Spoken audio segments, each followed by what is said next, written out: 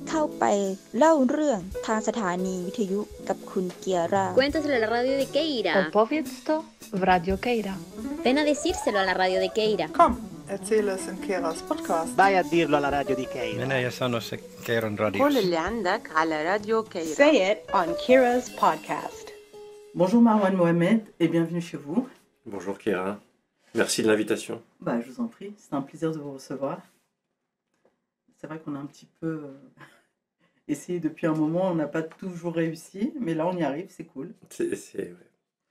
Alors pour, pour commencer, je ne vous apprends rien, mais il me semble que vous avez un homonyme, enfin presque, Marwan Mohamed.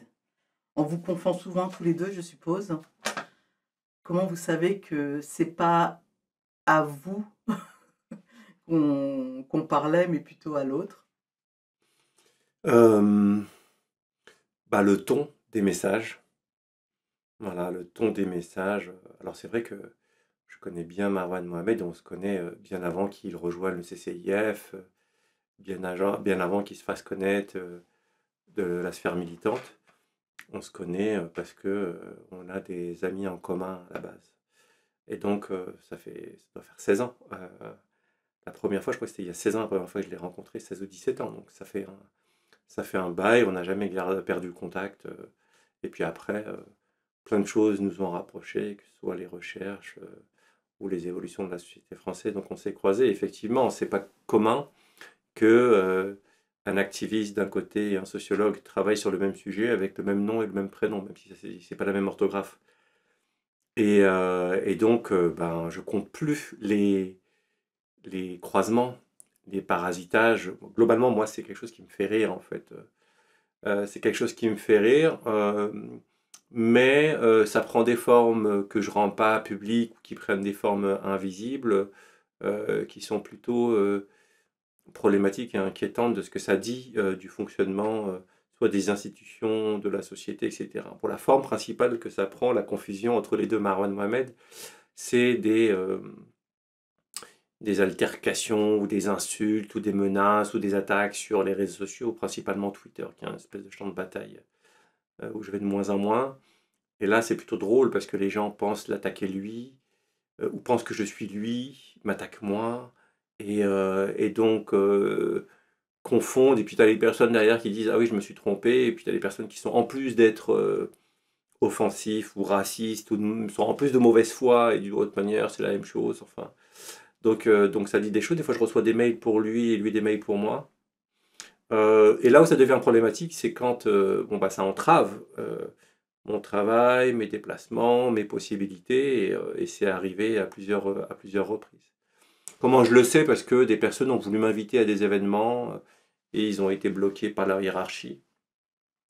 Euh, D'abord parce qu'ils pensaient qu'il y avait une confusion, et puis quand on leur explique qu'il n'y a pas de confusion, il reste toujours une espèce de suspicion euh, très malsaine, euh, très puante, mais elle reste et elle, a, elle a des effets. Donc, donc bon, après il y a des personnes qui pensent qu'on pense pareil.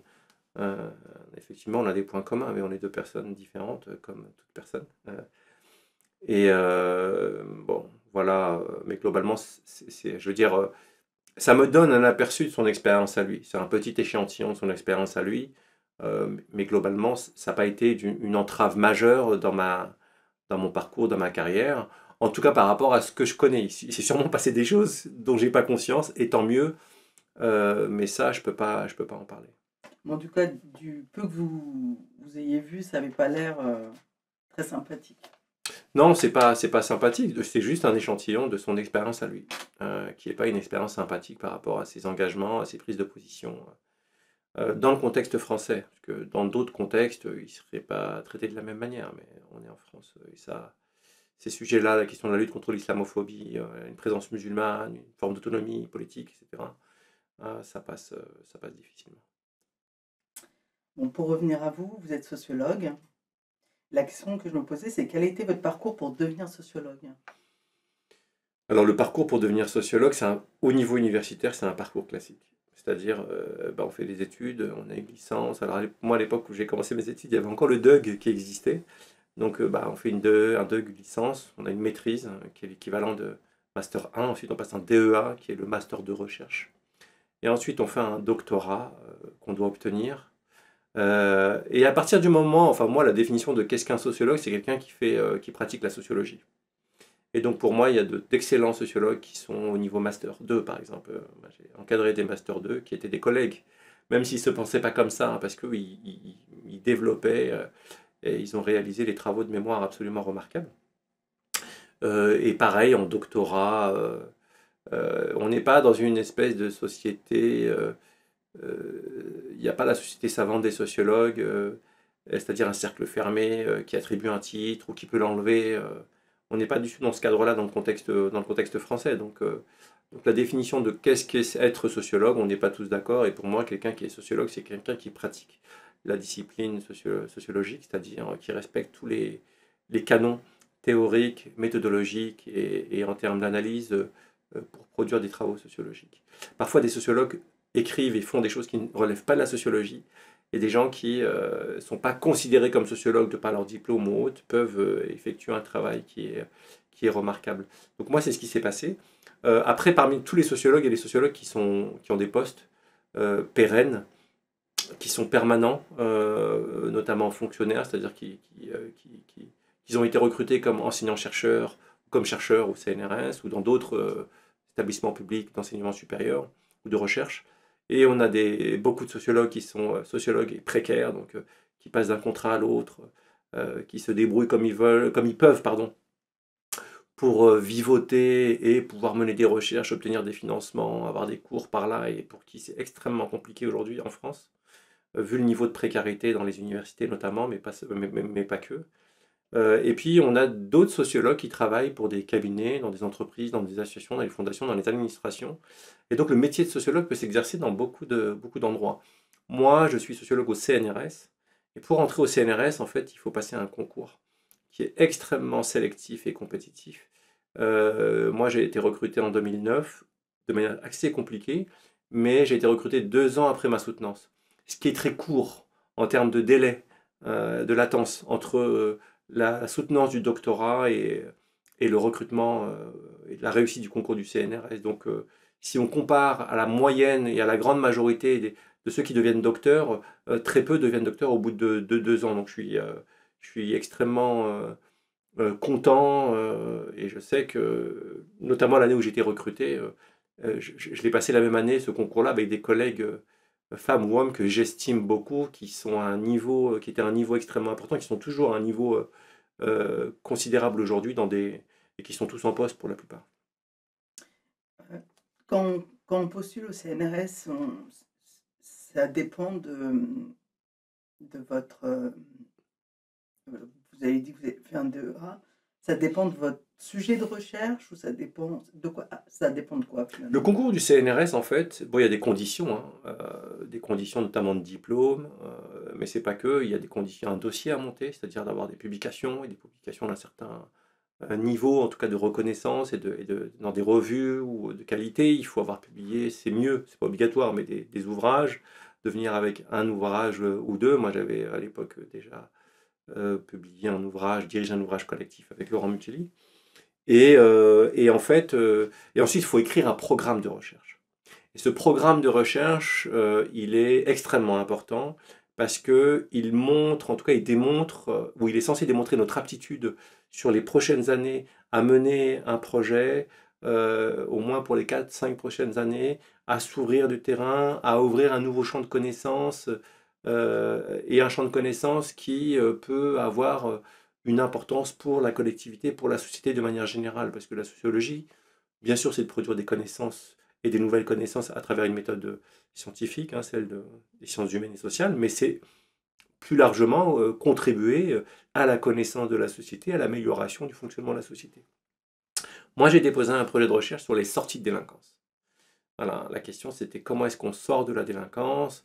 Euh, c'était un sujet en fin de thèse que j'ai commencé à réfléchir et qui a retenu l'attention du jury et qui avait déjà retenu l'attention de, euh, des administrations, par exemple, et des collectivités euh, locales. Moi, j'avais eu une bourse postdoctorale de la région Île-de-France sur ce sujet-là des sorties de bandes de jeunes. comment est-ce qu'on sort des bandes de jeunes Et donc, euh, voilà, c'était une réflexion que j'avais et c'est sur ça que j'ai basé mon programme de recherche, ce qui a abouti à, des- recherches, ce qui a abouti à un nouveau livre euh, paru en, en 2012 euh, euh, et ce qui a abouti également au développement d'un champ aujourd'hui en, France, euh, ce qu'on appelle désistance, c'est les sorties de délinquance euh, studies, c'est-à-dire les études sur les sorties de délinquance, euh, qui, ont, euh, donné lieu euh, à de nombreux mémoires de master, euh, à plusieurs thèses de doctorat, euh, à plusieurs livres. euh, euh, chaque année, il y a au moins un livre qui sort sur ces questions-là, mais qui a surtout contribué à nourrir la réflexion des professionnels de la réinsertion, de la justice, euh, euh, du secteur et du monde associatif, euh, etc., sur cette question et sur l'importance des sorties de délinquance. Est-ce que vous avez toujours su que vous, de- vous vouliez devenir sociologue? Ah non, non, non, non. Non, non, mais c'est pour ça que moi j'ai distingué le, mon parcours universitaire, qui est somme toute classique, de ce qui s'est passé avant. Ce qui, ce qui s'est passé avant, c'est une autre histoire. Vraiment, ça n'a strictement rien à voir. Moi j'ai- j'ai plusieurs vies. hein. J'ai ma vie jusqu'à la fin de l'adolescence. Entre l'adolescence et mon équivalence de bac, euh, et ensuite euh, le début de l'université, ma, carrière universitaire. Moi j'étais euh, vraiment ce qu'on appelle un très mauvais élève, un cancre, un petit emmerdeur. et donc, moi, ma scolarité en primaire et surtout dans le secondaire, à partir du collège, c'est l'échec scolaire. Mais vraiment un échec lourd. Un échec extrêmement lourd. Euh, je devais être envoyé euh, dans ce qu'on appelait, avant les CPPN, c'est ce qu'on appelle aujourd'hui les sections SECPA aujourd'hui. Tellement j'avais de, retard, de lacunes. euh, au niveau de ma scolarité, j'ai redoublé ma quatrième, j'ai fait deux quatrièmes et ça n'a strictement rien changé derrière. Et puis j'ai fini, j'ai fini ma, troisième en ayant raté le brevet des collèges. Et puis ensuite j'étais orienté en, en BEP. On m'avait proposé en fin de troisième un BEP chaudronnerie. Alors j'ai écouté pas mal d'histoires et euh, plusieurs personnes à qui on a orienté un BEP euh, chaudronnerie. Et, pour l'anecdote, quand j'ai cet entre- cet entretien avec la conseillère d'orientation et qu'elle me propose un BEP chaudronnerie, en fait, moi, la- dans mon idée, moi je savais pas que ça avait quelque chose à voir avec le fonctionnement de l'industrie euh, et, et au monde industriel. Et puis les chaudronniers sont plutôt bien payés, font des belles carrières et il y a pas mal d'emplois dans la chaudronnerie. Mais pour moi, quand elle me parle de ça, euh, elle, elle a en tête les besoins de l'économie, des filières et des choses qui pourraient euh, peut-être m'apporter. Euh, quand on regarde mes bulletins de l'époque, bon, franchement, c'était pas extraordinaire. Mais moi, quand elle me dit chaudronnerie, l'image qui me vient en tête, c'est Panoramix d'Astérix avec des gros chaudrons comme ça. Et je me dis, je me dis, mais qui achète des chaudrons encore aujourd'hui Dans ma tête, c'était vraiment ça et je l'ai très mal vécu. J'ai trouvé ça hyper humiliant en fait. Elle m'a- pris pour qui en fait? Pour, euh, pour fabriquer des chaudrons que personne n'utilise, euh, même chez nous. euh. Bref, ce décalage, ce décalage là. Et puis non, en fait, j'ai choisi, j'ai choisi ma, mon orientation en fonction des, places disponibles sur la ligne du RER A. Parce que j'avais déménagé quelques années avant à Villiers-sur-Marne. Moi, j'étais au collège à Porte de Clichy, au collège Balzac à Paris. Que mes parents, ils, m'avaient inscrit en première langue arabe. Donc, euh, donc euh, il n'y avait pas de première langue arabe dans mon secteur, dans le Val-de-Marne, à Villiers-sur-Marne. Donc, je continuais à aller là-bas jusqu'en fin de troisième. Je faisais Villiers-sur-Marne, Porte de Clichy, Villiers-sur-Marne, Porte de Clichy. C'était insupportable. Et, euh, et en fait, moi, j'ai juste regardé le RER A. Et sur le RER A, euh, ce qui était le plus pratique, c'était. il y avait, y avait Noisy-le-Grand, mais c'est pas mon département. Il y avait euh, Brie-sur-Marne, mais je crois qu'il n'y avait pas de lycée à Brie-sur-Marne. Il y avait Nogent-sur-Marne, mais j'avais pas du tout le niveau, le bulletin pour me retrouver à Nogent-sur-Marne. Il restait Fontenay. Et à Fontenay, il y avait un lycée professionnel Michelet, où il y avait toujours de la place, parce que euh, c'était là où atterrissaient euh, tous les échoués de tout le département du Val-de-Marne, et y compris un peu de, de Seine-Saint-Denis, côté Montreuil, etc. Et donc, euh, c'était vraiment, en termes de réputation, un des pires lycées du Val-de-Marne. Et, euh, et du coup, moi, je me suis retrouvé là-bas, et il y avait de la place en, comptabilité. Donc, je me suis retrouvé en comptabilité avec aucune appétence pour la comptabilité. Et forcément, euh, quand on n'est pas motivé, on n'a pas d'appétence, bah, on traverse euh, le BEP. pour moi, c'était n'importe quoi. Alors, j'ai connu plein de monde, j'ai connu plein de. C'est que des bons souvenirs quand je rediscute avec les personnes avec qui on a partagé ces deux années, mais c'était d'un point de vue scolaire nul. Et donc, j'ai raté mon BEP. Je ne l'ai pas eu. J'ai eu le CAP, mais parce qu'on passait les deux en même temps, et de quelques points, j'ai réussi à gratter le CAP. euh, L'honneur était sauf. Euh, et puis après, euh, comme j'avais pas mon BEP, j'ai pas pu aller en bac pro. Je voulais en bac pro commerce, le commerce m'intéresse un peu plus. Je voulais le faire en alternance, donc j'ai trouvé un centre de formation qui m'a demandé euh, mon brevet. Je lui ai dit que je l'avais pas reçu. Et puis, et puis à l'époque, on est retourné au, au- au lycée avec un copain qui était dans la même situation que moi. On a, on a volé nos dossiers. C'est le dossier qui nous suit. On les a piqués parce qu'on ne voulait pas que le, centre de formation le demande au lycée pour pouvoir avoir une chance qu'il nous garde, etc. Mais en fait, euh, c'était peine perdue.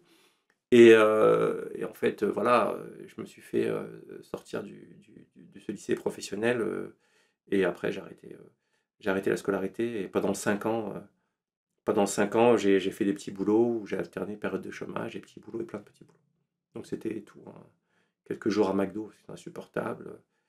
Euh, ouvrier, euh, manutentionnaire, euh, les espaces verts euh, municipaux pendant trois semaines, télémarketing, les marchés, hein, tout ça était extrêmement formateur, les petits business à droite à gauche.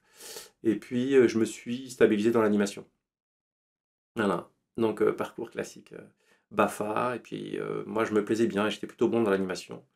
Donc j'ai passé mon BFD, brevet de directeur, j'ai commencé à diriger des colos. J'ai fait le tour, c'était bien, euh, mais euh, il me manquait quelque chose en fait. euh. C'était bien, mais je me suis dit je vais pas faire carrière là-dedans.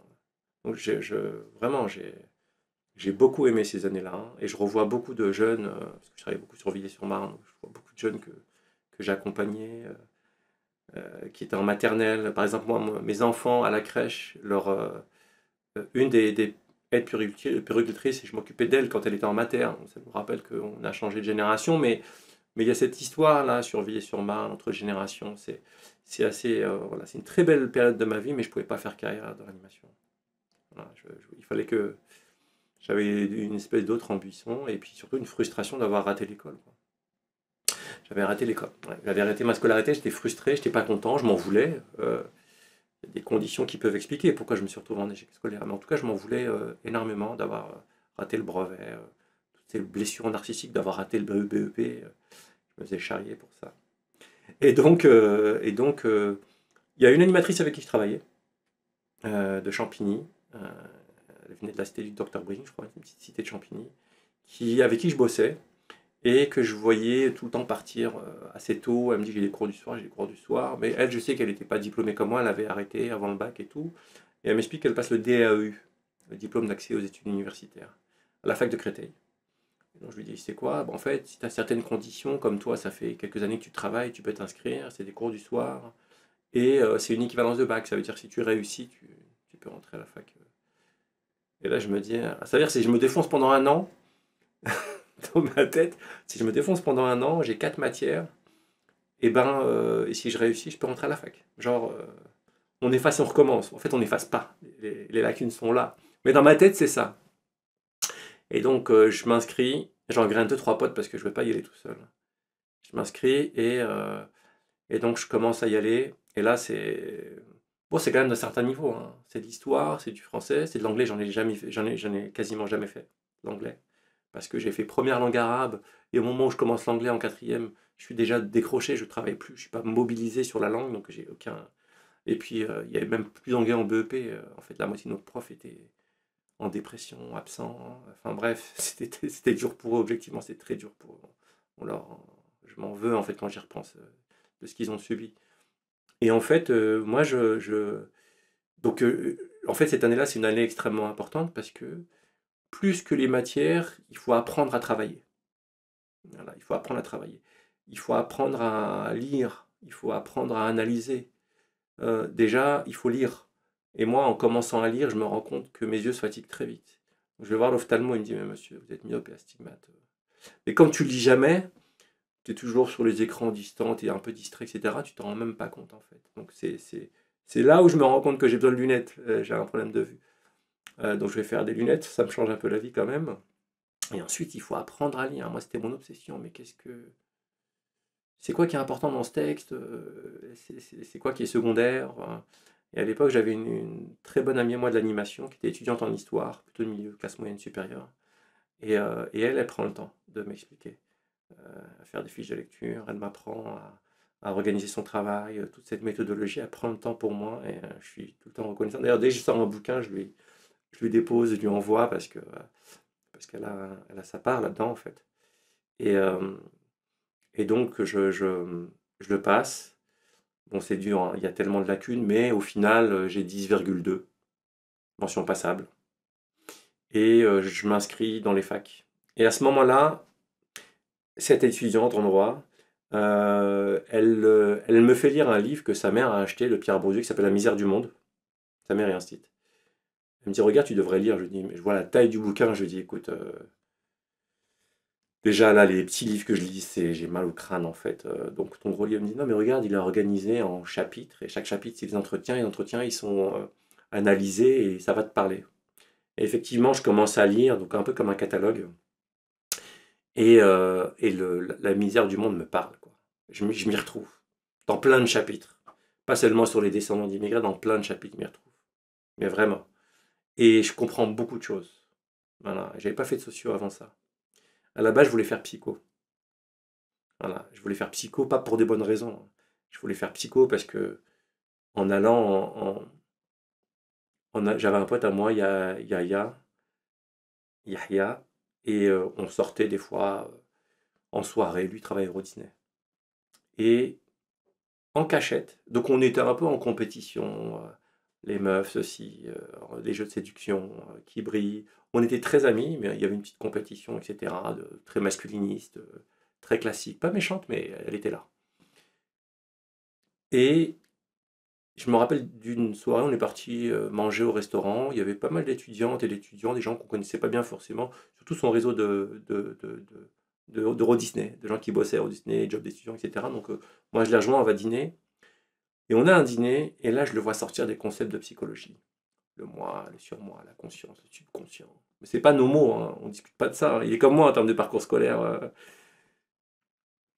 ah ouais, ah, t'as fait de la psycho un petit peu, machin. Et je vois, euh, moi en fait, j'ai le seum au fond de moi. Je dis, ah, ouais, ah, le bâtard. Ah, il m'a mis à l'amende ce, ce soir.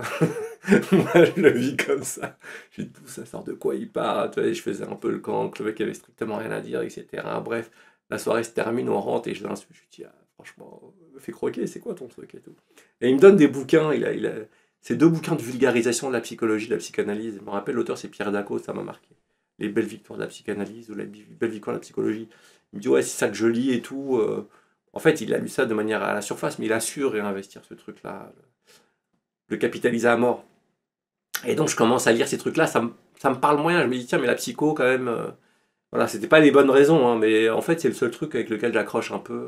J'avais fait un peu d'histoire, euh, revenir euh, à l'histoire ancienne. Moi, l'histoire contemporaine me plaît beaucoup, mais l'histoire ancienne me, me, me un peu. Donc, euh, j'étais un peu sur psycho jusqu'à qu'on me la misère du monde. Et la misère du monde, euh, mais c'est juste, euh, c'était puissant en fait. euh, c'était puissant. Si on m'avait offert un, un autre livre de Bourdieu, euh, les précédents, la reproduction, euh, la noblesse d'État, bah forcément j'aurais fui. C'est probable que j'aurais fui. Parce que c'est tellement complexe, tellement dur, tellement. Même en faisant les études de sociaux, je lisais en découpant les chapitres pour comprendre le raisonnement en fait. Tellement c'est dur de lire Bourdieu et d'autres. Mais là, non. Là, ça me parle et, je décide de faire de la socio. Donc, j'essaie de m'inscrire à, Nanterre.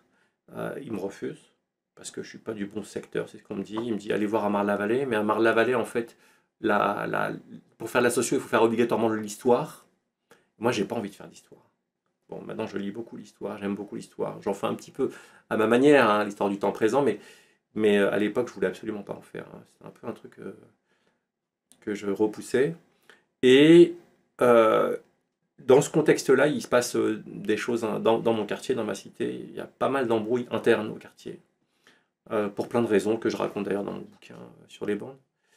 Et moi, je je me sens pas en fait psychologiquement d'être disponible pour les études dans un tel contexte où c'est pourri, où c'est plus le quartier dans lequel j'ai grandi, où ça, ça, se bat, ça se bat beaucoup, ça se met des coups de pression. Enfin, c'est une sale période de l'histoire de mon quartier. Moi, je passais beaucoup de temps dans la rue, donc euh, on est forcément pris dedans, ces histoires-là. Et, euh, et puis pareil, je suis soutien de famille à la maison, donc euh, moi qui pourvois, je travaille à droite à gauche, donc je suis, je suis un peu partagé. Et là, j'ai une discussion avec ma mère, je lui dis, écoute, euh, pour moi, dans l'idéal, ce serait vraiment de m'éloigner de tout ça pour pouvoir vraiment étudier, quoi. Et donc, elle me dit, essaie, elle le pense pas, mais elle me dit essaie. C'est un peu l'esprit de sacrifice. Elle se met tout le temps, souvent les mamans derrière, quoi. Elle dit toi d'abord. Elle le pense pas, elle pense le contraire, mais elle me dit fais-le.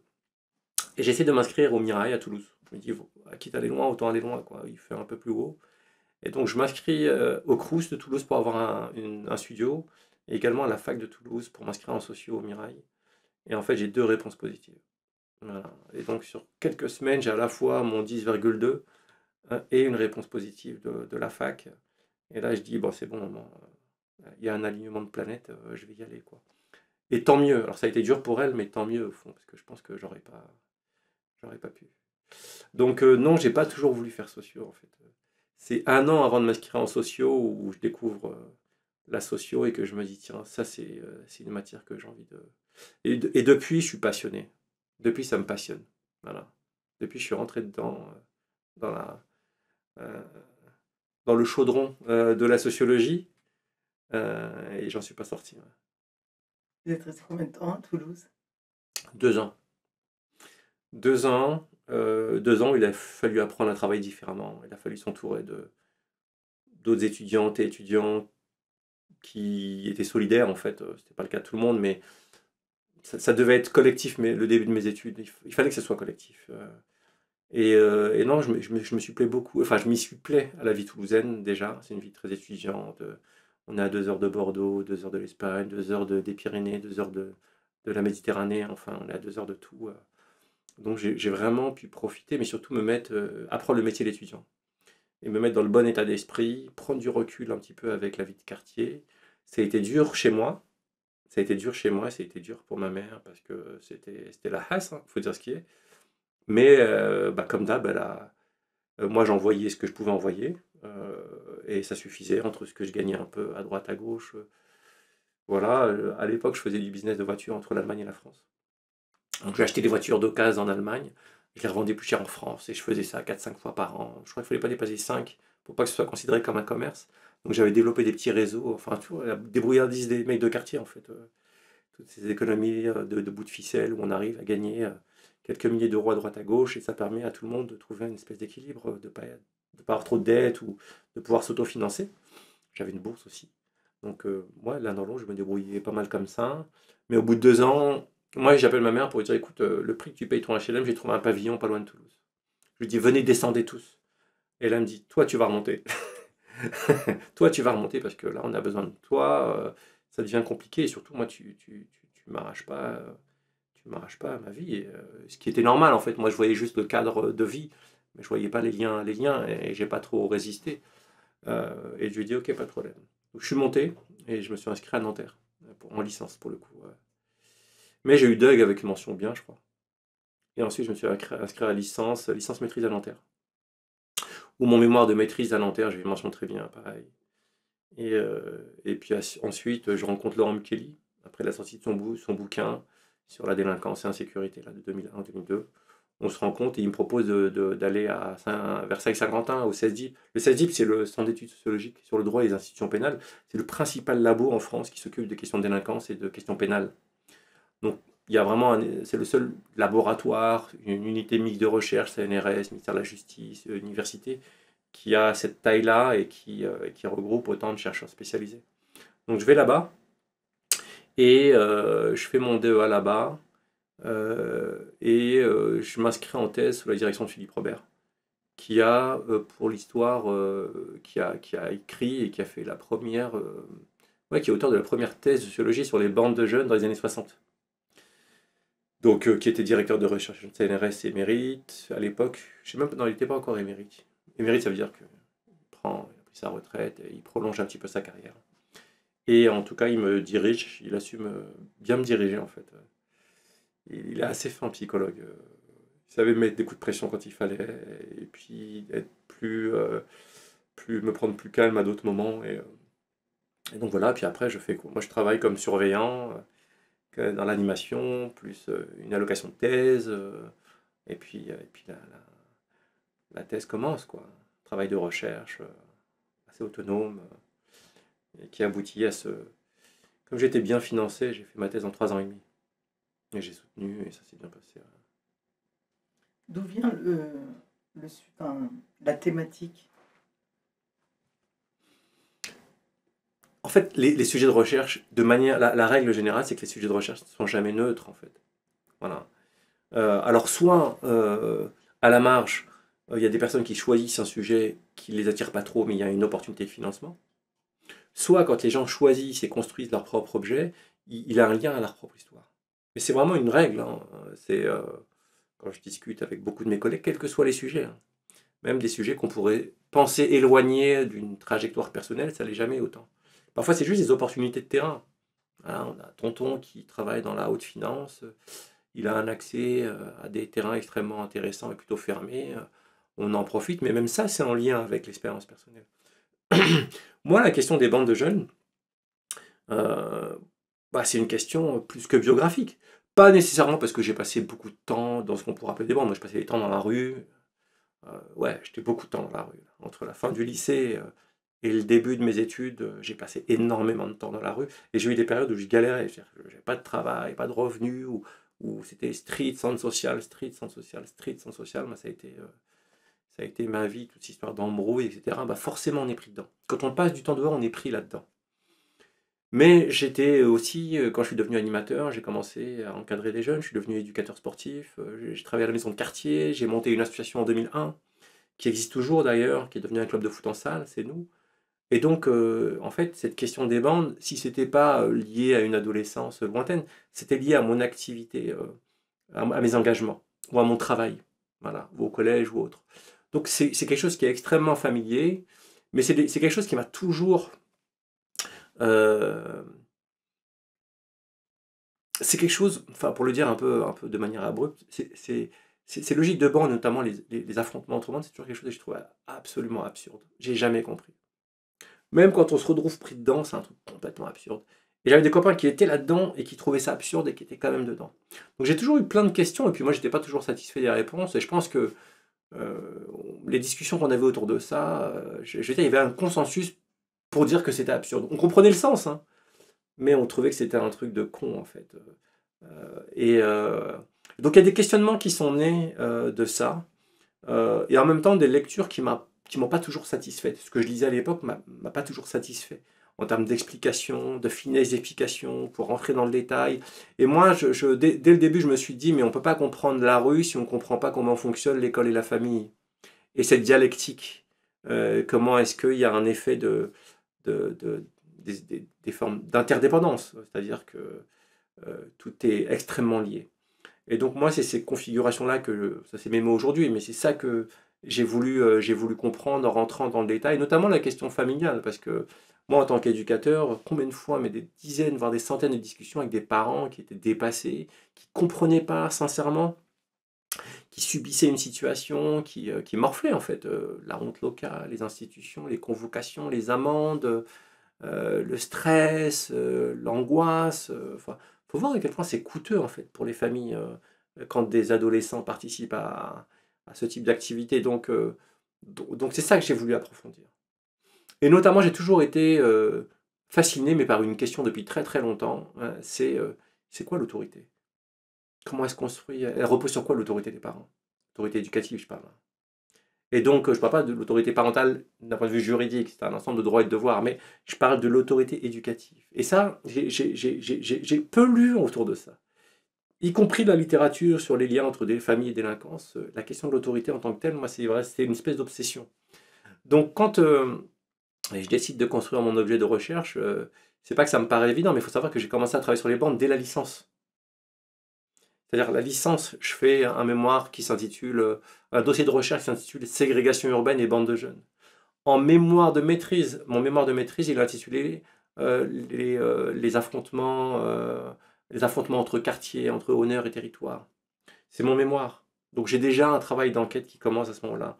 Mon DEA, il était plus théorique. J'ai voulu vraiment me, taper toute la littérature, notamment anglophone, sur la question des bandes et des gangs, mais c'était pour préparer ma thèse. Mais la question des violences est encore présente. Au moment de construire mon objet euh, de, thèse, c'est ça que j'ai envie d'aller euh, euh, d'a- d'aller voir, mais de manière la plus qualitative, la plus ethnographique possible, pour répondre in fine à cette question-là sur quoi repose l'autorité éducative.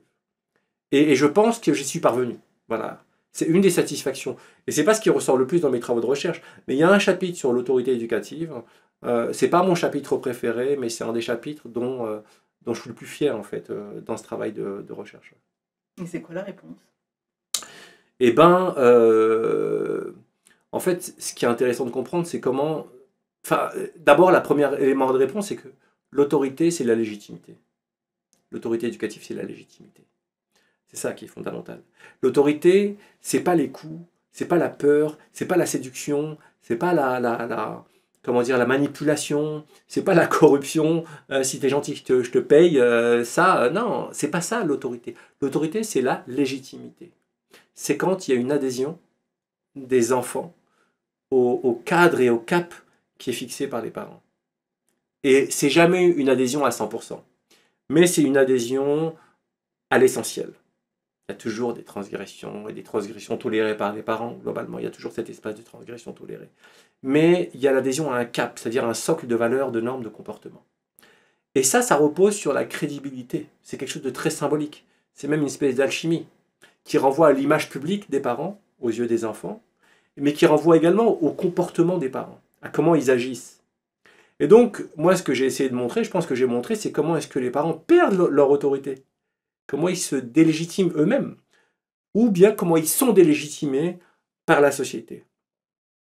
Et là, euh, bah, on regarde euh, la position sociale, la classe sociale. C'est bien, c'est plus dur d'assu- d'a- d'assurer et de, susciter une forme d'adhésion, euh, une forme d'admiration. Parce qu'il y a de ça, en fait, dans l'autorité. Il y a une forme d'admiration qui, nourrit la- l'adhésion. Mais quand on a des parents qui sont euh, euh, disqualifiés par les institutions, par les, discours sociaux, quand on a des parents qui occupent des positions sociales extrêmement basses, quand ils sont en situation compliquée, quand ils ne maîtrisent pas la langue, quand ils ne s'habillent pas comme le reste, je veux dire, il faut symboliquement être en mesure en tant que parent à déminer ça. Et en fait, beaucoup de parents disent, beaucoup de jeunes, moi c'est la réponse majoritaire que j'ai entendue, me disent Ouais, mes parents ils font ce qu'ils peuvent, les pauvres. Eh, pourquoi les pauvres? Pourquoi tu rajoutes les pauvres? Il y a un truc de commisération, presque de misérabilisme, dans le regard de beaucoup d'enfants à l'égard de leurs parents. Et ça, c'est une des parties de la délégitimation. Parce que pour susciter l'adhésion, il faut en imposer. Là, c'est très symbolique. hein. Comment est-ce qu'en tant que parent, on s'en impose pour s'imposer? C'est ça qui, est, compliqué à, comprendre. Et donc, euh, en fait, les parents, ils pensent pas tout le temps, mais ils ont plein de ressources. C'est leurs normes, c'est leurs valeurs, c'est leur engagement. Il y a plein de choses qui, permettent de compenser finalement ces logiques de, disqualification sociale par la société, par les institutions, par les discours ou par leur position sociale. Bon. Mais il n'y a pas que ça. Il y a un autre, volet qui permet d'expliquer comment les parents perdent leur légitimité. Comment est-ce qu'ils perdent tout crédit aux yeux de leurs enfants C'est leur comportement. Et là, tous les enfants, ils ont un système de normes. Ils ont une conception de ce qu'est un parent idéal ou ce qu'est un parent normal. Voilà. Et ils le disent, le mot normal. Ouais, mais les parents normaux, normalement. euh, Les parents, normalement. Donc, la parentalité, elle est associée, dans les yeux de tous les enfants, à un certain nombre de, normes et de valeurs. Et dès que les parents s'écartent de ce socle de normes et de valeurs, il y a un décalage qui se crée, qui, participe de leur perte de crédibilité. Et- et leur comportement, c'est-à-dire leur attitude morale de manière générale, ça joue. Alors de manière assez banale, par exemple, quand des enfants se sentent discriminés par, rapport à leurs frères et sœurs. Parce que l'économie morale des enfants, c'est qu'on doit être tous traités à la même enseigne. Donc déjà des parents qui, pour qui, enfin, dont les enfants considèrent qu'ils les discriminent par rapport aux frères et sœurs, déjà ils perdent de leur crédibilité. Euh, je vais prendre d'autres exemples plus caricaturaux, mais la violence, la violence, notamment les violences conjugales. En prenant l'exemple des violences conjugales. Euh, quand un père frappe euh, la maman. La maman, c'est une femme qui, qui, qui, apparaît comme dominée, battue. Donc c'est quelqu'un qui a besoin d'aide. C'est plus quelqu'un qui est en position de fixer un cap. C'est quelqu'un qui a besoin d'être protégé. Donc déjà juste, un des effets des violences conjugales, c'est de disqualifier l'autorité, en tout cas la, la, la- comment dire, le, le fait d'en imposer, cette espèce de puissance symbolique qui est derrière l'exercice de l'autorité éducative. Mais celui qui frappe, ou celle qui frappe, mais c'est surtout celui qui frappe, lui, il est aussi disqualifié, mais pour des raisons morales. Parce qu'il porte la main, il lève la main sur sa mère. Donc, ce n'est pas les mêmes logiques de, de, de, de de légitimité. Mais à la fin, c'est la même chose. À la fin, c'est la même chose. Et je le répète, hein, l'autorité, c'est pas l'affection. Hein. C'est deux choses totalement différentes. On peut avoir beaucoup d'affection euh, vis-à-vis d'un parent qui n'a strictement aucune autorité. On confond souvent les, choses. Donc l'autorité, c'est une espèce de capital symbolique qui est euh, fragile, réversible. Voilà. Et, si on n'en a pas conscience, si on n'en a pas conscience, on ne comprend pas les, mécanismes et tout ce qui peut se passer au sein de la sphère des relations intrafamiliales. Donc des parents qui viennent nous voir, je ne comprends pas. Ben, en fait, ils ont perdu leur légitimité éducative progressivement, mais ils ne comprennent pas. Mais c'est vrai que combien de parents sont armés pour comprendre ça, en fait? Combien de parents sont armés pour comprendre ça? Par contre, quand on interroge leurs enfants qui font des bêtises et qui vous disent pourquoi est-ce que... Eux, ils savent très bien pourquoi. Les enfants savent très bien pourquoi. Et c'est ça qui... Et à mon avis, c'est de là dont il faut partir pour reconstruire quelque chose, pour reconstruire du lien, pour euh, modifier un peu les choses au niveau de, de la, sphère, euh, la sphère familiale. Voilà. C'est comme ça que moi, j'ai, euh, ça a été un des résultats de cette recherche-là et un, un des éléments d'analyse qui m'a le plus euh, passionné, en fait. C'est possible de récupérer cette euh, légitimité, justement? Bien sûr, c'est réversible, mais c'est réversible dans les, dans les deux sens. Et moi, je sais que j'ai eu des discussions, mais parce qu'il y avait un commun accord entre des jeunes enquêtés, c'est-à-dire des adolescents qui étaient dans les bandes, qui posaient beaucoup d'actes, et notamment un père de famille. Donc j'ai fait les entretiens avec les deux, parce que moi l'idée c'était vraiment faire les entretiens croisés, mais pas ensemble, hein, parce que c'était très compliqué. Et j'ai senti à chaque fois qu'on parlait des parents beaucoup de, de- peine, de tristesse, de frustration, de colère. C'est pas du tout anodin chez beaucoup de, jeunes, notamment en termes de, disqualification morale des parents par rapport à leur comportement. Ben, le comportement, ça change. Et donc, justement, il y a un de ces, un ces pères-là dont le fils reprochait euh, les coups portés sur la mère et le fait que le budget familial passait au jeu. C'est les deux éléments de disqualification morale. C'est les deux éléments qui, faisaient que euh, le gamin en voulait beaucoup à, ses parents, mais il aimait son père, en fait. Il aimait son père, euh, il était attaché à lui, euh, petit, et c'était son modèle, et puis les choses se sont effritées avec le temps, avec l'adolescence. Et donc, mais c'est un père qui était en souffrance aussi, qui était prêt à entendre et qui est venu me voir, moi, après les vagues d'entretien. Euh, Est-ce que, euh, qu'est-ce qu'il t'a dit? J'ai dit, moi, je peux pas dire ce, qui, ce que ton fils m'a dit, je peux pas te dire parce que c'est le deal, en fait, euh, dans ma recherche. Moi, je lui ai promis que je dirais rien. Maintenant, je peux lui poser la question, et peut-être que je peux, je dire, si lui, il est OK, je peux dire ce que moi, comment je perçois les choses. Mais je, veux bien dire, et je n'ai pas la parole, j'ai pas une science infuse, mais voilà comment je perçois, comment j'ai analysé les choses.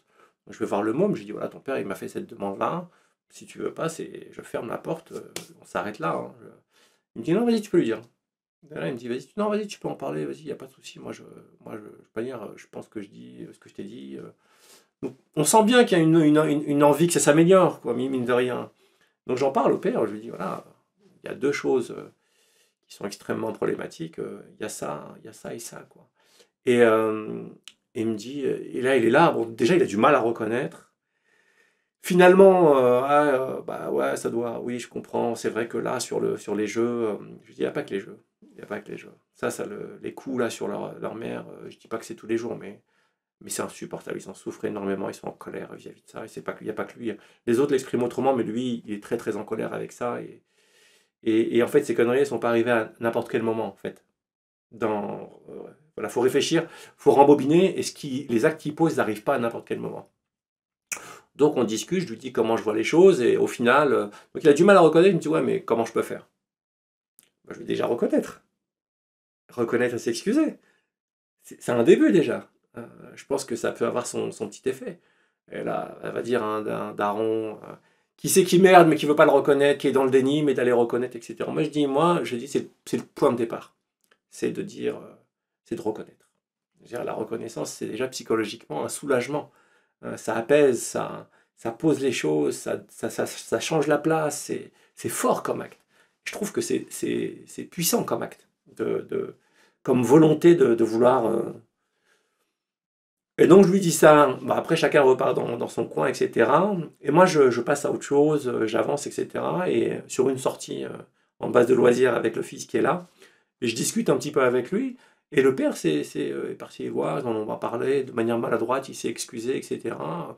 Donc moi je trouve ça extrêmement intéressant. Il a, il a promis qu'il allait essayer de s'améliorer. euh, et il a dit, en fait, euh, ma mère, euh, maintenant, euh, globalement, il la laisse tranquille. Il y a eu une fois, mais beaucoup moins qu'avant, etc. Donc il y a du changement à la maison. Et je lui dis, ça change quelque chose pour toi Il me dit, bah ouais. Bah ouais. Alors ça lui a pas. Il n'est pas revenu dans sa scolarité, il n'a pas lâché tout de suite avec l'univers des bandes. Il me dit, moi, le principal effet que ça a eu, c'est que j'ai levé le pied. J'ai levé le pied parce que la relation, c'est plus la même. Voilà, j'ai plus, j'ai pas envie de gâcher un truc qui s'améliore. Enfin, il s'est joué quelque chose comme ça dans, dans, dans la discussion. Et moi, j'y crois du, dur comme fer, ouais. Je pense que beaucoup d'enfants qui, sont en colère ou autres, ils aspirent à avoir les, les meilleures relations possibles avec euh, leurs ascendants. Bien sûr. Même quand ils ont merdé, même quand euh, ça reste fort comme lien. hein. Ça reste extrêmement fort. Donc, euh, mais c'est pas évident. Euh, le moment où vous quittez le. C'est quoi C'est le collège, le lycée Quand vous êtes en BE CAP, BEP quoi Fin, lycée professionnel. ouais. Vous avez quel âge, plus ou moins, à ce moment-là? J'ai 17 ans. Et le 17 moment où vous reprenez la fac? Le moment où vous passez euh, l'équivalent du bac. 23 ans. Donc il se passe combien de temps euh, 5 ans. Et quand vous, arrivez. Il se passe, ouais, 5-6 ans. 5 ans et demi, Donc ans. quand vous arrivez à la fac, Mm. vous n'avez pas le même âge que les étudiants? Non. Ils sont plus jeunes? Ouais, la, bon, la plupart des étudiants sont en première année, sortent du lycée. Donc on n'a pas le même âge et pas la même expérience en fait. Pas la même expérience du tout, mais moi très vite au niveau de la fac, je m'entoure de personnes qui sont un peu comme moi, quoi. Des reprises d'études, euh, ou des gens qui ont un peu bourlingué, euh, ou qui se sont trompés, qui ont arrêté, qui sont revenus. Donc des gens qui, en termes de moyenne d'âge, sont plus proches de moi que des, des sortants du lycée. Et, euh, et, effectivement, effectivement on crée un groupe. Je ne dis pas qu'on crée une bulle, mais, mais c'est vrai que ça devient mon, mon groupe de référence. euh, C'est avec, euh, c'est dans ce groupe-là que, que se trouvent les personnes avec qui je travaille. C'est dans ce groupe-là que se trouvent les personnes avec qui je sors. C'est dans ce groupe-là que se trouve une partie des personnes avec qui je fais du, du sport aussi, notamment du foot. Moi, je joue pour la fac de Mira et puis je jouais dans un club à Toulouse. Je faisais du foot en club à l'époque. Euh, notamment un, euh, un, un qui s'appelle Nicolas Mangione, euh, avec qui on a commencé. On, on se voit tout le temps. Il tient un bar euh, euh, pas loin de Couronne euh, aujourd'hui, qui a été entrepreneur social. Et, et lui, il était en reprise d'études. Et c'est vrai qu'on a des. On a gardé un lien, il a été extrêmement important pour moi, et je pense que c'est réciproque dans cette, dans cette période-là des deux années toulousaines. Du coup, vous étiez à Toulouse tous les deux, mais pas originaire de Toulouse. Lui, il est originaire de Toulouse. Ah oui. Donc lui, il est monté. euh, Ouais, lui, il est monté à Paris. Mais il est originaire de Toulouse. Donc il tient un bar. Là, aujourd'hui, il tient un bar, mais il avait une entreprise d'insertion avant, de, recyclage, où il recrutait beaucoup de personnes en situation de marginalité ou des sortants de prison. Et il recyclait, euh, en fait, il créait des meubles à partir de matériaux euh, recyclés. Et il a fait, euh, et ça, c'est- directement lié à l'un des masters qu'il y avait à, Toulouse, qui était un master d'économie sociale et solidaire, un des premiers en France. Et lui, il a fait cette formation-là, parce que notre DUG, en fait, c'était un double cursus, sociologie, économie, avec une dominante sociologie. Et lui, il a continué un peu sur les questions d'économie sociale et solidaire, et moi, j'ai continué euh, dans la sociologie euh, pure. Et la deuxième question que je me posais pendant que vous euh, parliez, c'était pendant toutes ces années où vous étiez justement dans la rue, qu'est-ce qui a fait que vous, vous n'avez pas glissé dans la délinquance? Bah déjà, la légitimité éducative de ma mère, c'est important. hein. Et ça suffit. Voilà, ça suffit. Euh, la légitimité éducative. Non, moi, j'ai toujours été... euh, Non, elle, elle a jamais perdu son autorité. hein. J'ai fait des bêtises, hein, mais elle a jamais perdu son autorité. Qu'elle a toujours fixé un cap, un cadre moral euh, qui, est, euh, qui est très souple, mine de rien. C'est-à-dire hein, une manière d'éduquer qui est basée sur la persuasion, sur le dialogue, essentiellement, non pas sur la contrainte.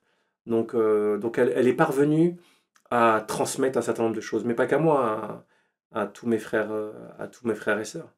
Euh, mis à part moi, paradoxalement, tout le monde a eu son bac euh, à la maison, il y a plusieurs masters, on fait des études.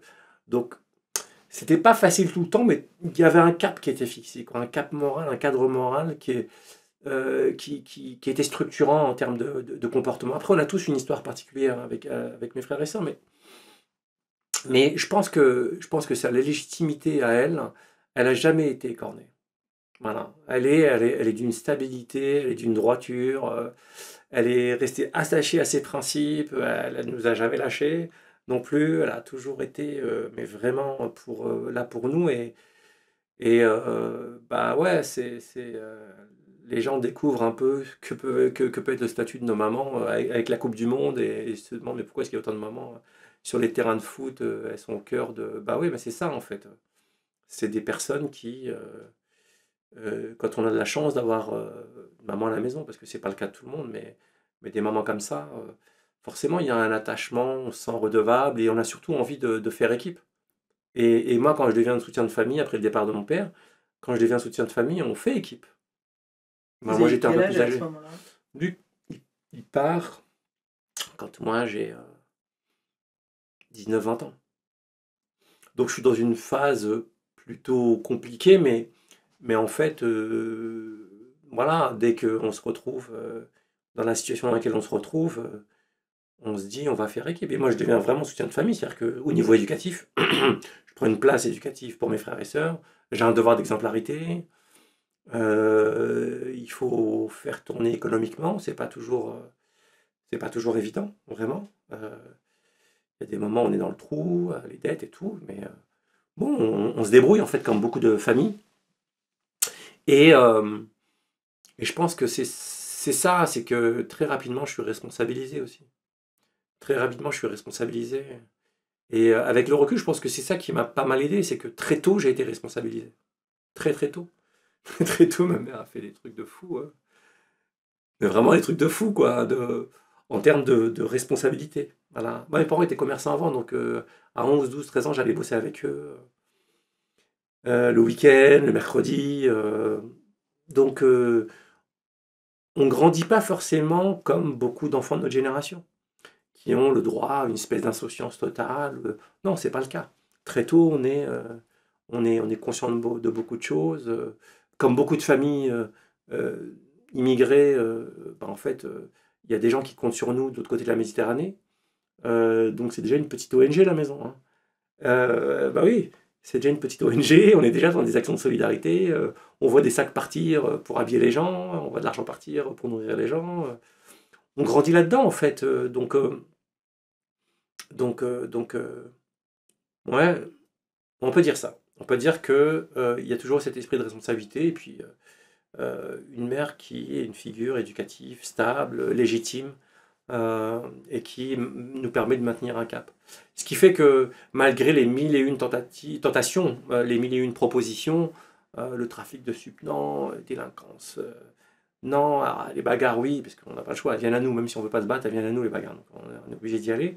Mais, mais, mais en fait, et puis j'ai pas été éduqué dans une espèce de, de, masculinité, parce que ça joue aussi beaucoup, hein, une masculinité viriliste, euh, euh, qui pousse à la domination physique, qui pousse à l'usage de la force physique, à la bagarre, à, la, ce...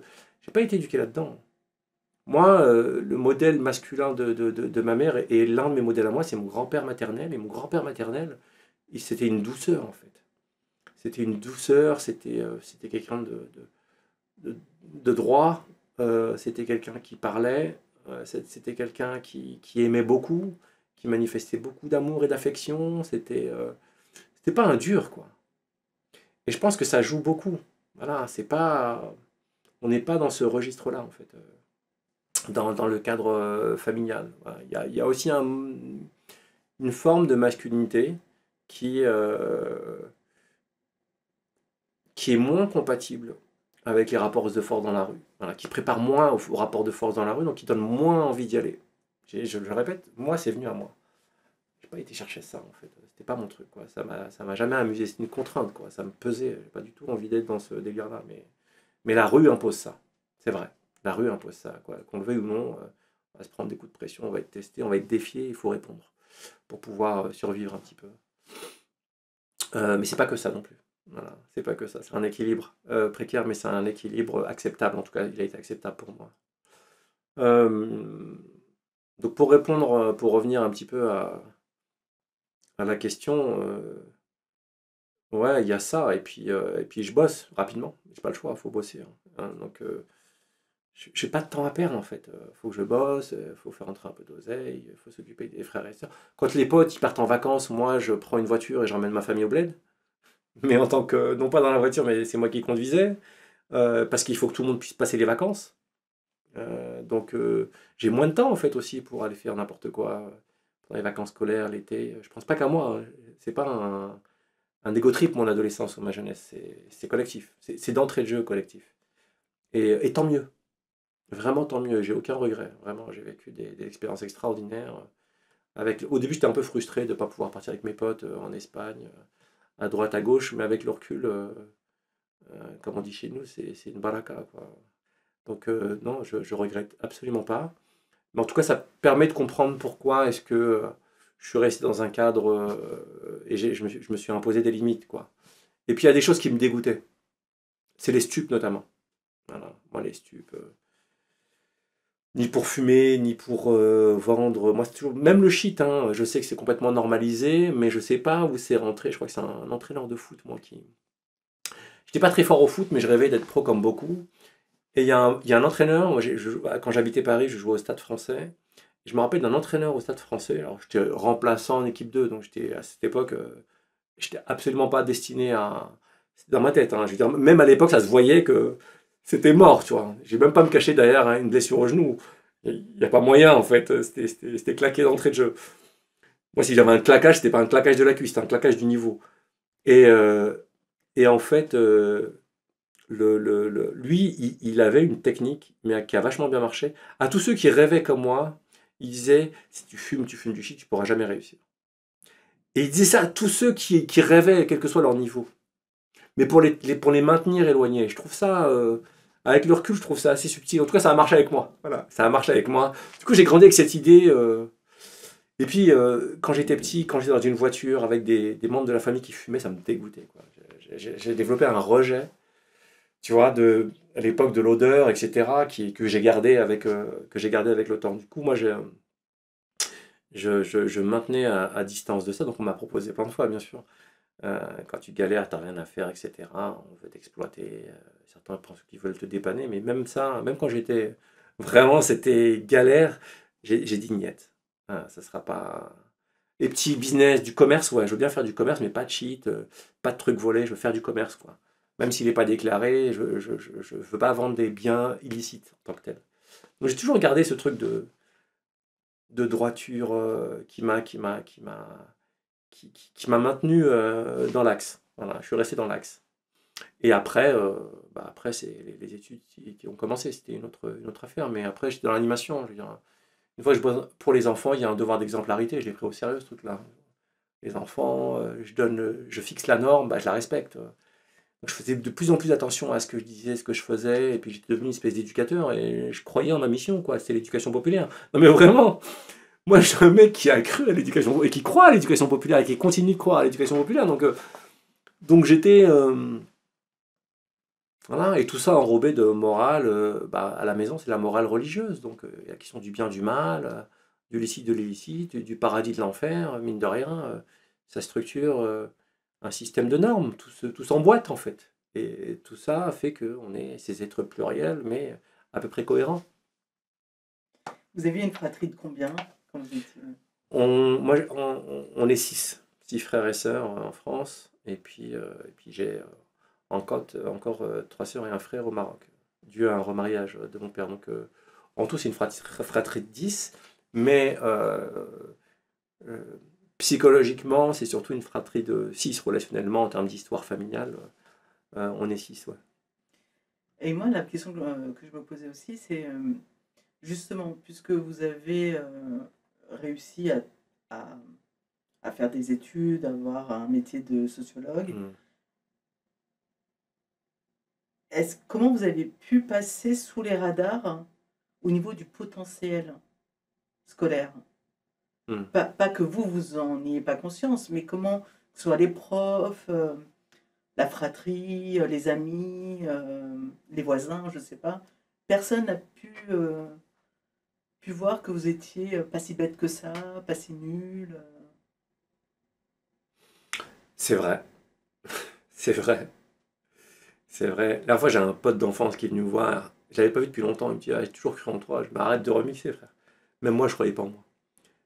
Même moi, je croyais pas en moi. Bah, déjà, je pense que la, valeur. Il y a, une, assimilation entre, entre l'intellect et la scolarité.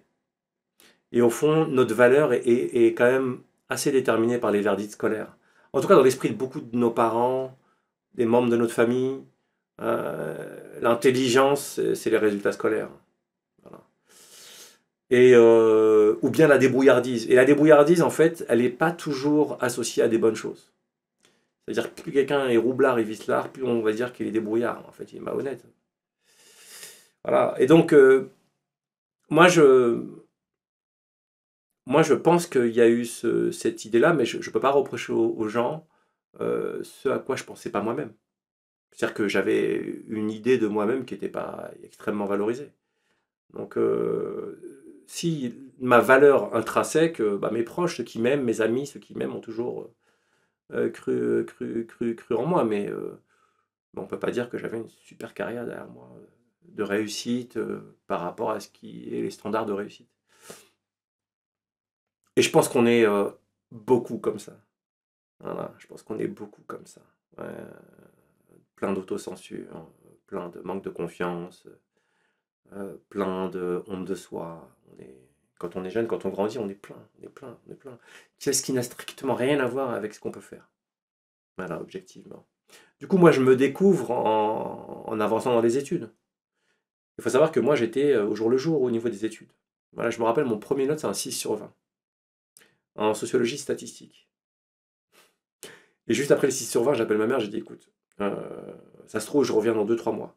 Parce que je vais pas perdre mon temps non plus. Je peux pas, pas le droit de perdre mon temps. Donc euh, je vais voir à la fin du premier semestre. Et si ça continue comme ça a commencé, bon bah c'est que c'est pas fait pour moi et au moins j'aurais essayé quoi. Et elle m'a dit non, non, non, t'es arrivé jusque-là, maintenant tu, donnes ton max, fais ce que tu peux, ou machin, etc. Donc elle m'a encouragé. Donc euh, euh, elle, elle croyait qu'il y avait, moyen. Voilà. Donc moi j'ai cette première note. Et après, et ma deuxième c'est un 13. Et je me rappelle des, remarques de, cette prof. C'est un cours d'économie où elle me dit un truc en substance qui est, euh, euh, certes, euh, l'organisation du texte, les références historiques, tout ça n'est pas parfait, ça s'apprend. Par contre, en termes de capacité d'analyse, on sent que vous avez une expérience. Voilà. C'est-à-dire que c'est moins scolaire, mais c'est plus profond. En substance, c'est ce qu'elle me dit. Elle, elle me, elle me, elle met une petite disquette quand même en disant bon bah, il y a des savoirs qui peuvent être valorisables à l'université, qui ne sont pas forcément des savoirs purement scolaires. Je le retraduis euh, dans le langage du sociologue d'aujourd'hui. Mais en tout cas, moi, j'avance au début comme ça. En fait, à chaque note euh, au-dessus de la moyenne, il faut savoir qu'à part le 6, à part le 6, j'ai eu euh, quasiment que des notes au-dessus de, de la moyenne. Mais de toute ma carrière universitaire. Voilà. C'est... C'était euh, en quoi En un an, un an et demi, je suis devenu une machine à, bosser. En fait. Hyper exigeant avec moi-même euh, et rapidement très confiant. Et puis je prends de la confiance, moi. c'est comme d'autres, quoi. On se dit, waouh, on peut. Et la, la confiance, c'est contagieux. hein. Et on a envie de rattraper le temps perdu. Et on a la rage d'avoir perdu tout ce temps-là. Mais en fait, c'est pas du temps perdu, c'est juste un autre chemin qu'on a pris. Parce qu'au final, quand on regarde la moyenne d'âge des gens qui soutiennent, et le temps que prend un doctorat, et j'avais beaucoup moins d'écart avec les docteurs qu'avec les premières années. Parce que j'ai perdu zéro année. Et même ma thèse, trois ans et demi, c'est très rapide pour une thèse de sociologie. Donc j'ai bombardé, moi. Je savais que j'avais pas de temps à perdre. Et deux ans après, je suis recruté. euh, Je suis absolument dans la moyenne des recrutés du CNRS en termes d'âge.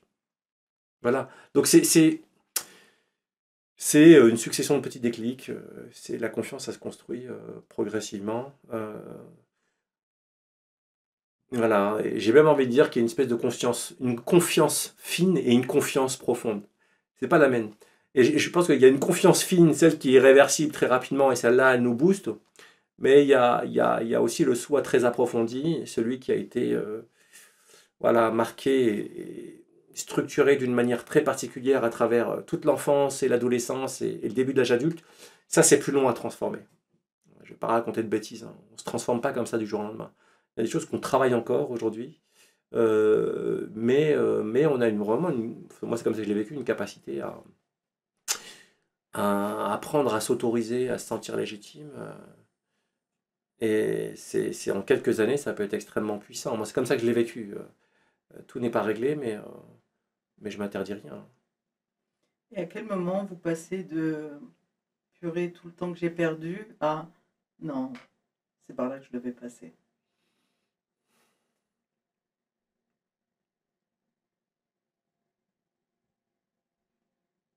Bah, en fait, le, c'est par là que je fallait, fallait passer. C'est plutôt mes profs à la fac qui m'en, qui, insistent là-dessus. C'est plus un truc euh, extérieur. En me disant, mais, mais en fait, euh, votre trajectoire et votre profil universitaire est lié à votre expérience. Et votre expérience, elle est irremplaçable.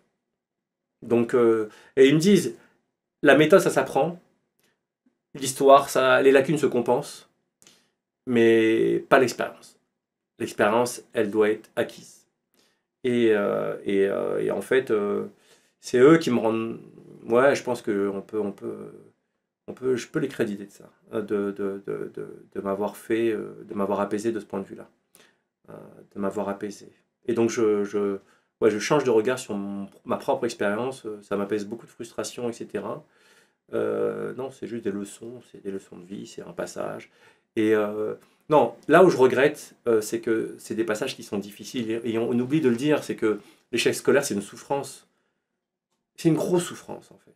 C'est de, traverser des, mois et des mois et des mois et des années en étant dans une institution sans être dans l'activité, en se sentant con chaque heure, en se sentant décalé chaque heure, en devant, euh, en, allant chercher des, compensations un peu précaires pour pouvoir exister, de, redouter et de vivre des, rituels de dégradation, comme on appelle ça en sociologie, à chaque remise de notes, à chaque remise de bulletin, euh, euh, de, réactiver une espèce de, frustration, de honte, de, déception parentale à chaque fois qu'on débarque avec son bulletin.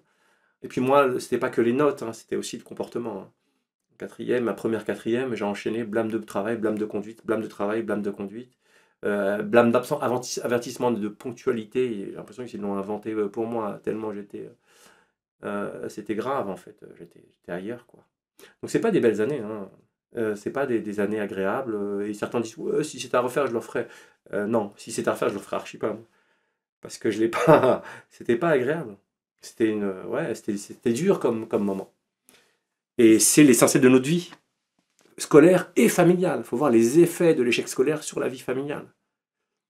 Hmm, Bon voilà, moi c'est c'est bien de rappeler ça. C'est bien de rappeler ça. Donc euh, si c'était à faire, je préférerais éviter. Mais effectivement, euh, ça me, c'est, on, peut les considérer comme des espèces de diplômes informels euh, que, j'ai, que, j'ai, que, je, que je suis parvenu à mobiliser et à, et à valoriser dans mon parcours universitaire et dans mon parcours de vie, mon parcours d'homme. Avec le recul, vous savez pourquoi vous, euh, vous étiez dans cet échec-là? Bah oui, c'est assez classique. euh, moi, j'avais des, parents qui bossaient beaucoup et, euh, et qui n'étaient pas très dispo. Enfin, moi, ça, c'est ma mère qui me l'explique. Elle, était bonne élève. Et elle a dû arrêter parce que son grand-père était pauvre, et elle a dû travailler, mais elle était excellente élève. hein. Euh, Donc, euh, ça a été une grosse frustration qu'elle nous a toujours transmise, elle nous a toujours raconté. On connaît par cœur cette histoire-là. Donc, euh, l'école, c'est extrêmement important, mais mes deux parents, ils travaillaient énormément. Et quand ils ont ouvert un commerce, bah, ça les accaparait. Les commerces accaparent. Petits commerces de proximité à Paris, plus les transports, etc. Donc, on, on- moi, je pense que très tôt, j'avais des capacités, mais le, mais le- l'encadrement dont j'a- j'avais besoin euh, n'était pas là. Donc, euh, j'accumule des lacunes. Et en primaire, ça se voit pas parce que je triche. Je triche. Je triche. Bon, j'ai un petit savoir scolaire, mais je, je triche. Parce que le mode d'évaluation, c'est. euh, euh, elle nous pose des questions, on écrit quelque chose sur notre tableau, elle nous donne la réponse, et on s'auto-évalue. Voilà, c'était comme ça. Et une fois que ça tombe sur nous, ben, on a zéro, mais le reste du temps, on a, on a 10. Quoi. Le prof ne s'inquiète pas plus. Il le voit très bien, mais bon, ils prennent pas plus de temps que ça, les incitent. Et, euh, et donc, euh, bah, en trichant, on peut, faire illusion pendant longtemps, mais à partir, partir d'un certain moment au collège, euh, c'est- plus possible. Donc cette culture scolaire, et cette, euh, euh, par exemple la méthode, ça s'apprend, ça se transmet la question de la méthode de travail. Je suis très sensible à ça maintenant euh, quand je veux travailler au niveau associatif, quand je discute avec d'autres parents sur la question de la méthode. Moi, pourquoi j'ai besoin d'attendre euh, l'année de mon équivalence de bac pour apprendre à travailler? Donc bien sûr, ça se fait en famille, mais les familles ne sont pas toutes euh, compétentes, disponibles pour le faire, ça en fait.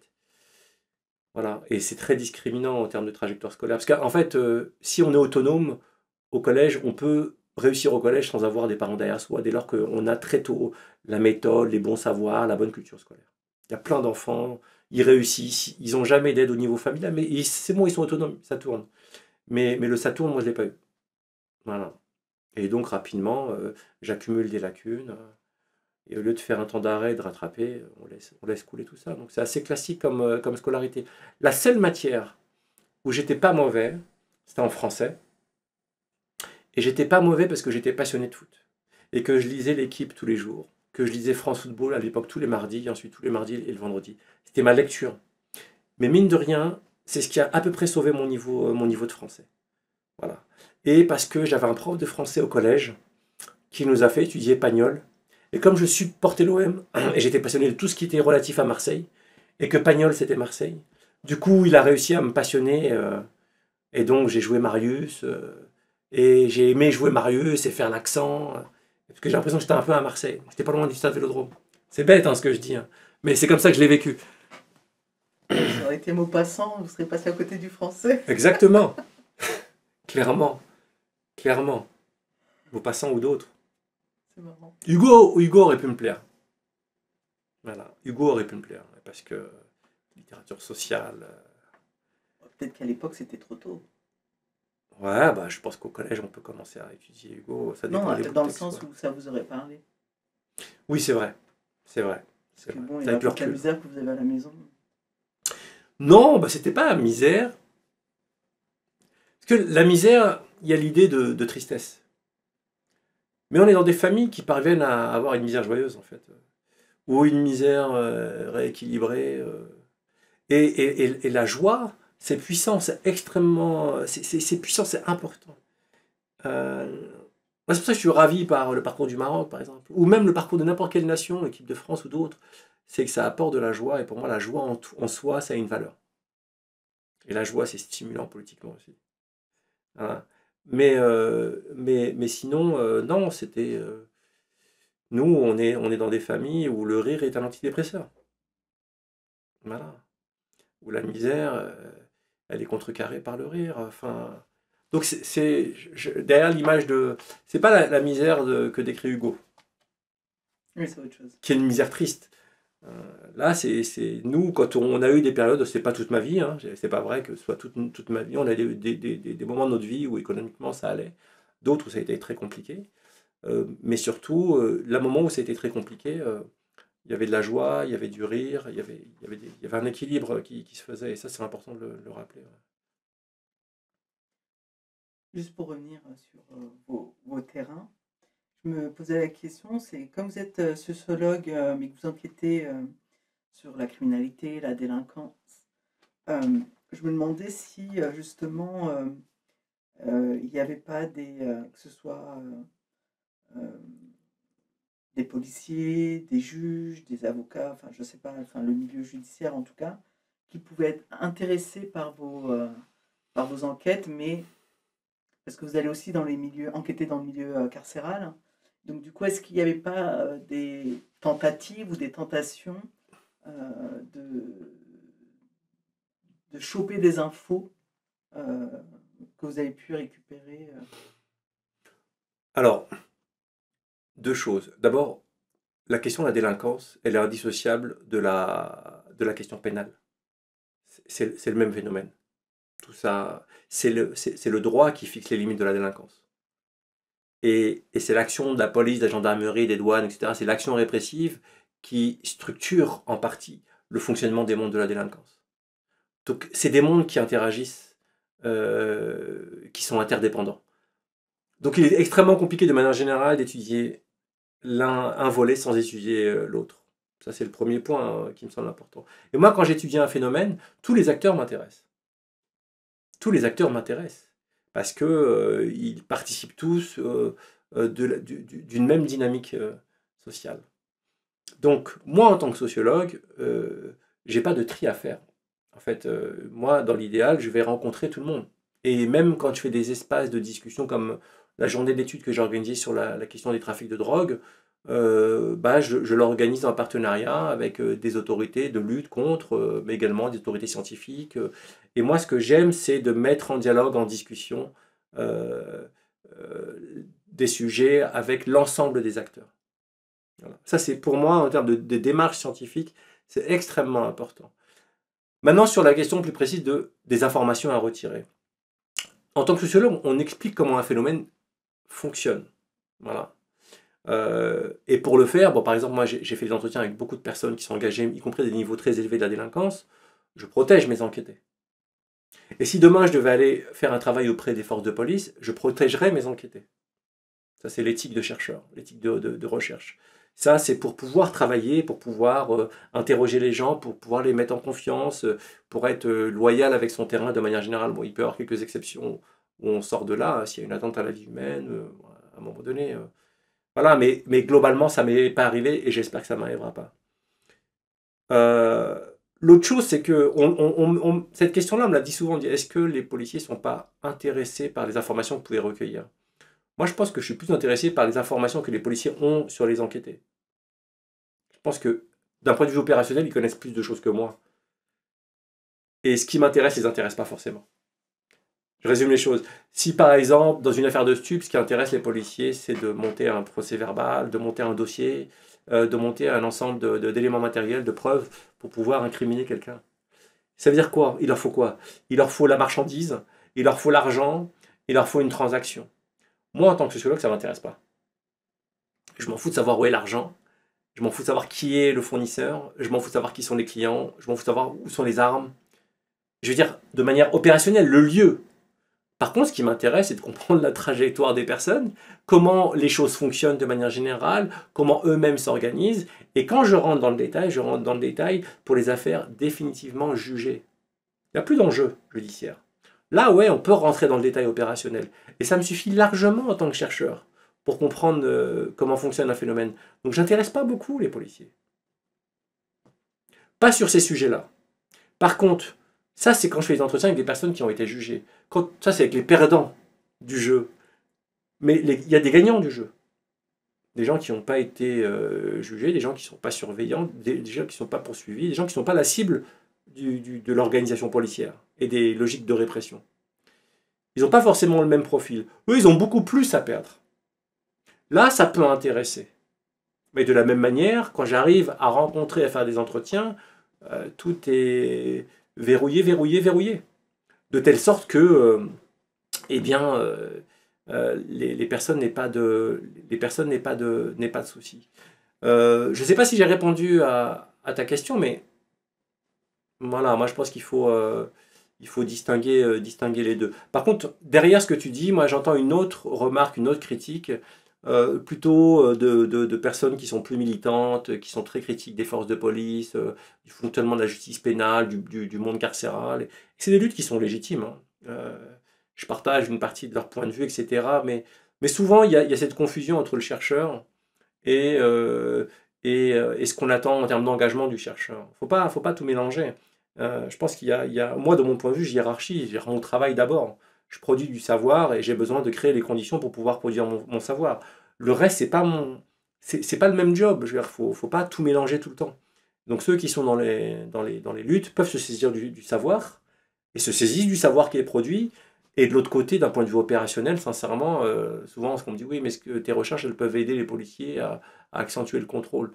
Sincèrement, euh, si euh, la sociologie, les sciences humaines avaient cette capacité de pénétration euh, de la formation des, policiers, peut-être ils agiraient autrement. Euh, Il y a beaucoup de, fantasmes euh, autour, euh, de ça, on n'est pas beaucoup lu. D'ailleurs, moi j'interviens, euh, j'enseigne à l'École nationale de la magistrature. Parce que la magistrature, les magistrats sont généralement, euh, la justice sont très ouverts à la recherche. Par contre, ça fait très longtemps que ça m'arrive deux ou trois fois d'intervenir, de présenter mes, recherches dans les écoles de- de police, mais on a vite été blacklisté. Non, c'est, c'est... Mais justement, on est blacklisté parce que, euh, parce que pour nos engagements, pour nos prises de position. Et, et du côté de l'institution policière, euh, il y a une difficulté à rentrer en dialogue, euh, être dans une forme d'autocritique ou entendre n'importe un début de critique sur les modes de fonctionnement de la police. On a l'impression que la police ne va pas survivre à la critique, y compris en son interne. Je veux dire, moi, les, les rares fois, mais ça fait très longtemps, où j'ai pu présenter mes travaux sur les bandes, c'était plutôt avec des, officiers, euh, on n'était absolument pas d'accord. Mais euh, il y avait une discussion qui était possible. Effectivement, ils ont, ça leur a pas plu quand j'ai parlé euh, de la question des, des violences policières, mais elles sont là, je les observe. Ils veulent pas les entendre, c'est leur problème. Mais qu'on puisse avoir un espace où on peut échanger autour de ça, je trouve ça intéressant. Voilà, je trouve ça intéressant. Parce que c'est des acteurs. Parce que c'est pas une question d'aimer ou de pas aimer. Euh, ils sont là et ils font partie du phénomène. Donc pour moi, c'est important d'interroger tout le monde, de pas caricaturer un acteur euh, vis-à-vis d'un autre. Euh, c'est- une question d'éthique, d'éthique personnelle. Je dois rester fidèle à ce que j'observe et, à la manière d'a- d'analyser la plus objective possible. Voilà. Maintenant, euh, je- ça leur fait pas de mal aux instances policières d'ouvrir leur centre de formation, de faire réfléchir autrement. Ça leur ferait vraiment pas de mal. Même des gens qui étaient perçus comme plutôt pro-police dans les sciences humaines et sociales, dès lors qu'ils sont devenus un peu critiques, ils, se font attaquer par tous les syndicats sur Twitter, etc. Bon, c'est pas- c'est le contexte en France. Il y a d'autres pays dans lesquels euh, euh, ce dialogue, ces discussions existent. Eh, C'est houleux, mais au moins cette discussion existe. Et voilà, il faut qu'elle existe, cette discussion. Je pense, hein, en tout cas, c'est mon point de vue. hein. Justement, depuis quelques années, vous travaillez sur les carrières criminelles aux États-Unis. Est-ce que vous pouvez nous en dire un peu plus? Euh, alors moi, je, suis resté que deux ans aux États-Unis. hein, Et, en fait, ce que j'ai essayé de faire, c'était de dupliquer un peu la recherche que je faisais sur la, la criminalité organisée en France, notamment en prison, à partir de l'entretien des principaux concernés, euh, pour avoir une mise en miroir en fait des trajectoires françaises avec les trajectoires nord-américaines. Bon, il s'avère que ça a été extrêmement compliqué de, rentrer et de faire ma, recherche en prison. J'ai réussi à la faire avec des gens qui étaient incarcérés, y, y compris avec des gens qui étaient non incarcérés, qui étaient à l'extérieur, qui étaient en liberté, qui étaient sortis, etc. Mais j'ai pas recueilli le même niveau. euh, euh, D'abord, le même nom, j'ai pas fait le même nom d'entretien et euh, c'était pas les entretiens aussi, euh, au- aussi qualitatifs. Donc, j'ai pas des matériaux équivalents en termes de qualité pour pouvoir partir sur une forme de comparaison. Donc, je vais plus me servir des situations américaines que j'ai étudiées comme une mise en miroir. Comme une mise en miroir, comme des éclairages, ou bien sur du comparatif, mais sur des points extrêmement précis. Peut-être que le plus intéressant de mon séjour de recherche en prison, c'est comme ça que je le vois avec le recul, en plus des entretiens en prison, ça a été l'observation du procès del Chapo de Joaquin Guzman, c'est un des fondateurs du cartel de Sinaloa, qui est aujourd'hui incarcéré, qui a été jugé à, Brooklyn pendant trois mois au tribunal fédéral à, downtown, euh, pas loin de là où euh, j'habitais euh, à l'époque. Et c'est là où c'était intéressant parce que au-delà de l'image globale du cartel, de- de- du narcotrafic, etc., c'est- un moment assez unique pour regarder un peu la dimension routinière, opérationnelle, quotidienne euh, du fonctionnement d'un cartel, ses frontières, ses- sa structuration concrète, euh, son mode d'organisation logistique, financière. Enfin, moi, c'est plus ça qui m'intéressait. Et, là, j'en ai tiré énormément d'informations, d'autant qu'il y a un certain nombre de témoignages et d'éléments de preuve qui ont été diffusés uniquement en audience euh, et qui n'ont pas été diffusés dans le, dans le, au niveau du public ou dans les médias, etc. Bon, voilà. C'est plus ça que moi qui m'a euh, qui m'a qui m'a intéressé. Et, j'ai vu qu'il y avait des différences effectivement. On pourrait revenir dessus très longtemps mais il y a des différences majeures en termes de trajectoire. Euh, en termes de trajectoire euh, y compris des gens que j'ai incarcérés en prison ils ont ils pas les mêmes vies en, France ou aux États-Unis. Les marchés sont pas les mêmes les montants sont pas les mêmes le type de structuration n'est pas le même. Par contre on peut faire des analogies au niveau des ce qui m'intéresse c'est les carrières de, de- la délinquance comment est-ce que s'opère la mobilité? C'est un, espace social, euh, le, les mondes de la délinquance. C'est un, espace, voilà. et, donc, on peut commencer en bas et monter. Et donc, ça passe par des étapes et tout est structuré par un système de normes, de cooptation, euh, euh, d'évaluation des, comportements, etc., des connexions. Donc, il y a beaucoup à apprendre de, ce point de vue-là. Et même à ce niveau-là, c'est un peu structuré de la même manière, mais, sur des, des ampleurs et des, et des modalités qui sont trop différentes entre les deux sociétés. Vraiment. C'est-à-dire qu'on aime bien s'amuser à, amuser à se faire peur euh, euh, avec notre prisme nord-américain de ce qui se passe dans nos quartiers, dans nos banlieues, etc. Mais ça n'a strictement rien à voir. Rien à voir.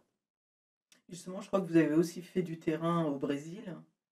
Et euh, là, on parle de comparaison. Alors le Brésil, c'était un, un séjour de recherche de 10 jours. Donc c'est pas un terrain à proprement, il faut être sérieux là-dessus. Moi, je, dis, juste séjour de recherche. Et donc j'ai pu euh, effectivement visiter, euh, j'ai été pris en main euh, par des collègues universitaires, par des travailleurs sociaux qui sont sur le terrain, dans les favelas, etc. Donc j'ai pu rencontrer beaucoup d'acteurs sur le terrain, de centres sociaux, de familles. ça a été hyper intense, hyper riche. j'ai pu me promener en ville également, de lire beaucoup sur les questions de sécurité, de discuter avec des collègues. Donc 10 jours extrêmement instructifs. Et là encore, on n'est pas du tout sur les mêmes sur les mêmes, euh, sur, sur les mêmes logiques. Euh, on, est, euh, on est quand même au Brésil, j'étais à São Paulo, et, j'ai vécu une expérience de, couvre-feu imposé par une organisation criminelle, respectée par tout le monde, on a évacué un peu en urgence un quartier, où il devait y avoir un ciné-débat dans un centre social où je devais rester, où là, il y a, il y a dans le rapport de force entre l'État, en tout cas la police, la mairie de São Paulo et l'État fédéral, et ce groupe criminel, ce groupe criminel a imposé un, cessez-le-feu à partir d'une certaine horaire. Euh, et donc l'information s'est vite euh, répandue et tout le monde, globalement dans la population, s'y est, est, soumis. Ce qui pour moi est une expérience extrêmement inédite parce que même ça, on ne retrouve pas aux États-Unis. Où une organisation criminelle arrive à imposer dans son rapport de force avec les autorités publiques un cessez-le-feu, c'est-à-dire euh, le fait qu'une bonne partie de la population euh, doivent quitter l'espace public sous peine de, de, remontrance ou de violence euh, ou autre. Donc là, on arrive dans une société où la question du pouvoir, le pouvoir sur le quotidien, sur les territoires des organisations criminelles, est incomparable ou très difficilement comparable avec ce qu'on peut observer déjà aux États-Unis, où déjà un certain nombre de gangs ont une place euh, assez particulière dans la vie locale, dans les ghettos, etc et, encore plus que ce qu'on peut observer en France, où bien sûr il y a des enjeux, de pouvoir dans les quartiers, euh, où euh, les entrepreneurs de violence à l'échelle locale, ils peuvent imposer un certain nombre de choses, euh, voire négocier avec les autorités, et ça, je suis en train d'écrire un article là-dessus, donc je suis complètement dedans et complètement conscient, mais sur des, sur des niveaux qui n'ont strictement rien à voir. donc là aussi, c'était extrêmement instructif, et ça, et ça impose, en tout cas, ça nous, oblige à faire attention aux termes qu'on utilise, à la manière de décrire euh, euh, euh, ce qu'on peut observer à l'échelle locale, notamment les connexions entre milieux politiques et économiques et délinquants, ou bien dans le pouvoir concret de ce qu'on appelle les caïds, entre guillemets, c'est-à-dire des entrepreneurs de violence. effectivement, ils existent, on ne peut pas mentir, on ne peut pas faire comme... on peut pas le nier, mais avec un niveau d'influence quand même très localisé et très réduit finalement, est-ce que, euh, puisque vous pouvez comparer euh, entre les trois pays, en France, ça va? Bah Non, je ne peux pas dire ça. Je peux pas dire ça parce que ceux qui subissent, c'est insupportable à entendre. Disons que c'est des, des, niveaux d'ampleur et de réalités très différentes, où effectivement en France, euh, les niveaux d'homicide, les niveaux de violence graves, l'État, le pouvoir des organisations criminelles sur la vie quotidienne euh, sont pas, sont pas au niveau du Brésil ou de certains autres territoires, et tant mieux, même s'il y a une réalité. Et ceux qui subissent la réalité le vivent très mal, et je pense qu'il faut le prendre en compte, euh, y compris dans, dans les mots qu'on utilise. Euh, que d'abord, de manière plus générale, je pense qu'il faut déconnecter la question de la délinquance, et y compris des liens entre politique et délinquance, il faut la sortir des quartiers populaires et uniquement des quartiers populaires, au risque de reproduire une petite musique ambiante qui justifie euh, euh, euh, les modes de ciblage et de, répression très particuliers qui ciblent les quartiers populaires et notamment les populations racisées, notamment les jeunes hommes qui vivent de ces quartiers-là. C'est extrêmement important hein, parce qu'il y a un, lien direct entre le discours qui légitime ces modes de répression et ciblage, ce ciblage, et les effets de ce ciblage, c'est-à-dire des formes de surreprésentation d'une partie de la population dans les instances pénales ou en détention, qui servent ensuite de preuve au discours, et la boucle est bouclée.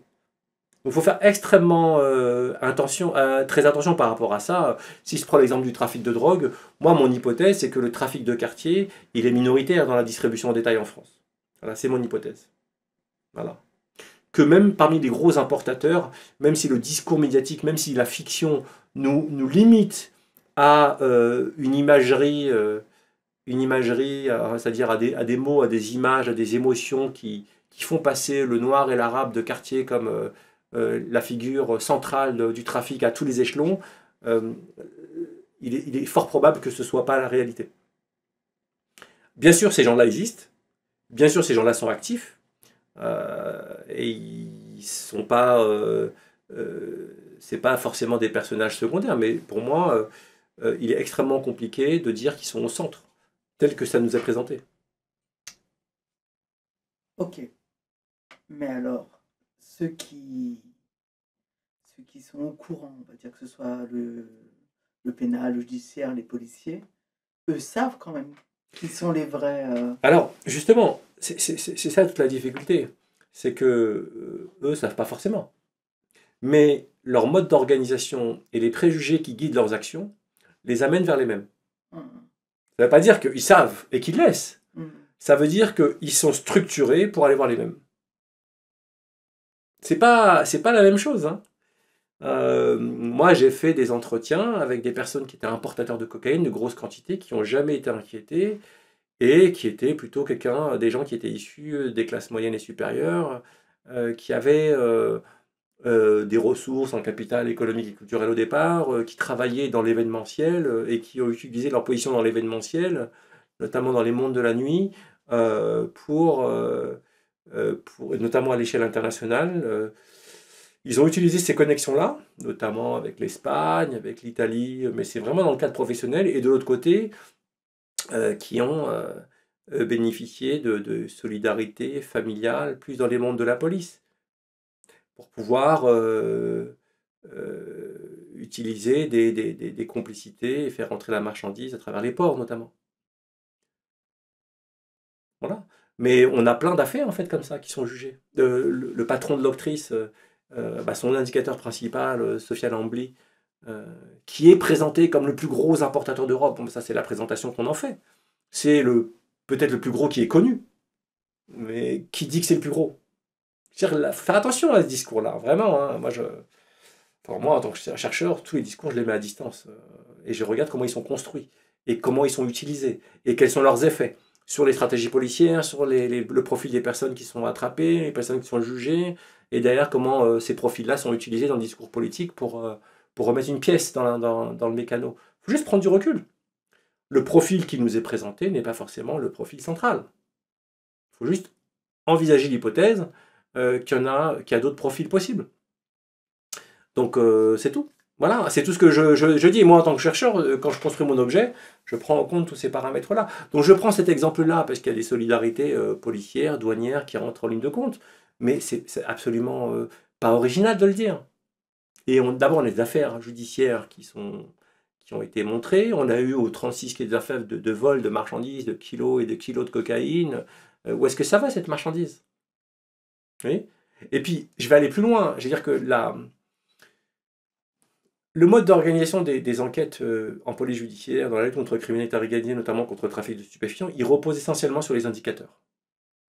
Ils sont centraux, ils sont essentiels. Il n'y a pas de lutte anti-stup sans indicateurs. Ni en France, ni ailleurs. Bon, pour avoir des indicateurs, il faut avoir des indicateurs des gens qui sont connectés aux espaces de la délinquance. Sinon, ils n'ont aucun intérêt comme euh, indicateurs. Comment sont recrutés les indicateurs? Ils sont souvent recrutés euh, à partir euh, d'enquêtes. Des personnes qui se font interpeller, des personnes qui sont repérées, des personnes qui sont en galère, à qui on propose un deal euh, en échange de, mettre la procédure sous le coude, ou de les dépanner, ou de les aider. C'est là que naît, pour une partie d'entre eux, une relation euh, indicateur policier, qui est une relation qui doit être entretenue. euh, donc il y a une partie des indicateurs qui sont inscrits au fichier des indicateurs, et une autre partie qui refuse d'être inscrit, etc. Bon. C'est des gens qui sont soit protégés, c'est-à-dire le deal, c'est qu'on te laisse toi ton business, tu nous donnes les autres, donc c'est un deal protégé déjà, donc on a un deal. Euh, soit c'est des personnes qui sont des intermédiaires euh, et qui sont rémunérées d'une autre manière. euh, bon, C'est ça la, la relation. Et ça, elle est essentielle. Il n'y a pas de, police, de lutte anti-stup sans les indicateurs. Mais pour recruter les indicateurs, enfin, le recrutement des indicateurs repose beaucoup, du coup, sur l'organisation policière existante. Une organisation qui est qui repose sur, une forme de répression, de surveillance, de renseignement très connectée au quartier populaire. Plus qu'aux classes moyennes et supérieures. La surveillance, le renseignement, tous ces moyens qui sont développés et qui remontent de, police secours, des bacs euh, et de tous les partenaires à l'échelle institutionnelle, le, maillage, il est autour des quartiers populaires. Donc la, probabilité de recruter des indiques qui sont issus des quartiers populaires, elle est importante, ou qui sont, sont liés à ces milieux sociaux-là. Et inversement, la probabilité de recruter les indiques qui sont dans d'autres milieux sociaux, classe moyenne, sup ou autres, est, extrêmement limitée. Donc, juste le dispositif, quand on regarde l'organisation, il y, a- des biais à tous les niveaux, en fait. C'est pour ça que je dis, oui, les trafiquants de cité, racisés, existent, ils sont actifs, euh, ils sont organisés, certains plus ou moins bien, etc. Mais de penser que, que ben, c'est une erreur de penser qu'ils sont forcément au cœur du trafic. Alors que c'est ce qui nous est vendu. hein. Il y a des listes euh, euh, qui sont diffusées sous le manteau à des journalistes, euh, des cibles. On regarde les 10 cibles, il faut aller regarder sur Internet les 10 cibles, 15 cibles. Il n'y a que des Arabes et des Noirs, majoritairement des Arabes.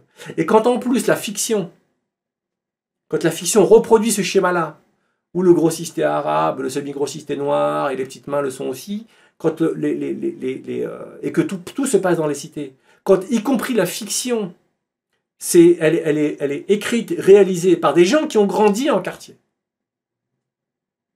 qui accèdent enfin à des financements pour, pour nous reproduire un peu cette, ce schéma-là. Alors peut-être que c'est le seul schéma qu'ils connaissent, mais il faut se documenter un peu pour éviter de reproduire et de participer à la reproduction d'un, d'un- d'une vision du trafic des drogues. Et c'est pour ça que c'est une, une chose qui m'intéresse, moi. Parce qu'à travers la question de la délinquance, la criminalité organisée, le trafic de drogue ou de la lutte contre ces, ces formes de délinquance, euh, on parle de la société. On parle de sa stratification. Et je vais même aller plus loin. Je vais même aller plus loin. C'est quoi les effets de, cette forme de, répression différenciée? C'est que les profits criminels, même l'argent qui est gagné du crime, eh ben les profits liés à ces trafiquants-là, euh, ils ont beaucoup plus de chances d'être saisis euh, par l'État, alors que les profits générés par d'autres profils beaucoup moins exposés, ou pour d'autres formes de délinquance, il faut savoir que le, premier marché en termes de profit, de revenus illicites, c'est la fraude fiscale. Et donc cet argent-là a déjà moins de chances d'être... euh, les personnes qui en sont détenteurs, elles ont moins de chances d'être poursuivies, il a moins de chances d'être récupéré. Ça veut dire que derrière, même dans les logiques de ciblage et de saisie des avoirs criminels et de l'argent et des biens et du patrimoine, il y a une espèce d'arbitrage de classe. Parce que l'argent, euh, elle ruisselle pour le coup. L'argent de, la délinquance ruisselle. Beaucoup plus que l'argent de, l'économie. euh. Et donc, je veux dire, on peut aller loin en fait dans, la réflexion de la manière dont les choses sont stratifiées. En tout cas, moi en tant que sociologue, c'est ce que j'essaie de faire. Sans euh, décrier les uns ou les autres, en essayant de regarder la, complexité. Donc moi, je ne crois pas du tout au complot, espèce de complot de ouais, on les laisse tranquilles et nous. Non, il y a un dispositif, il y a un mode d'organisation qui amène à avoir plus un type de délinquance, des types de délinquance et des profils euh, que d'autres. Et c'est pas nouveau, depuis Foucault, c'est très théorisé ces questions-là. Depuis Michel Foucault. C'est ça l'arbitrage des illégalismes par l'État.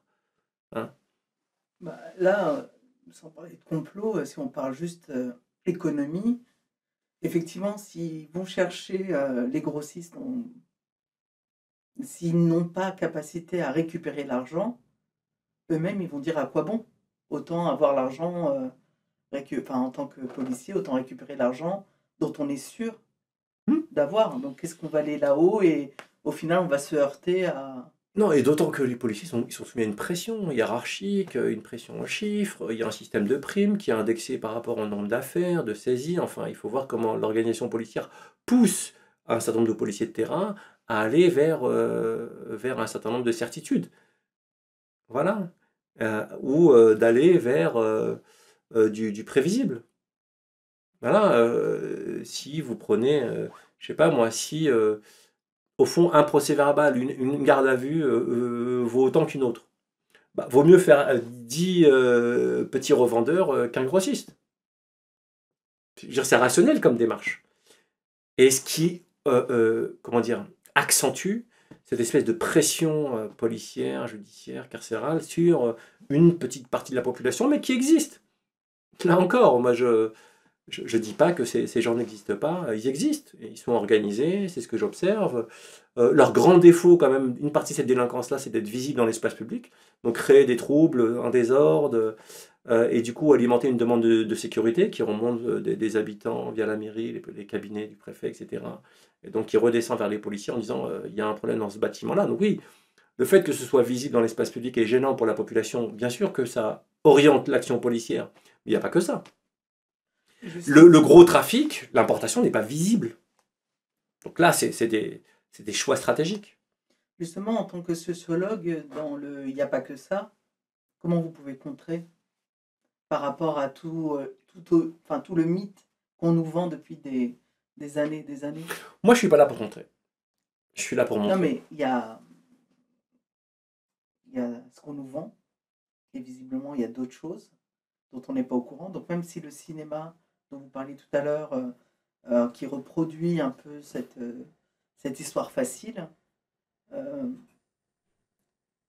comment, euh, enfin, c'est ça, comment euh, connaître euh, d'autres histoires? Bah, moi, en tant que sociologue, ma responsabilité, bah, moi, je, suis dans l'impossibilité de dire voilà comment est structuré le marché. Par définition, ce marché-là, il échappe.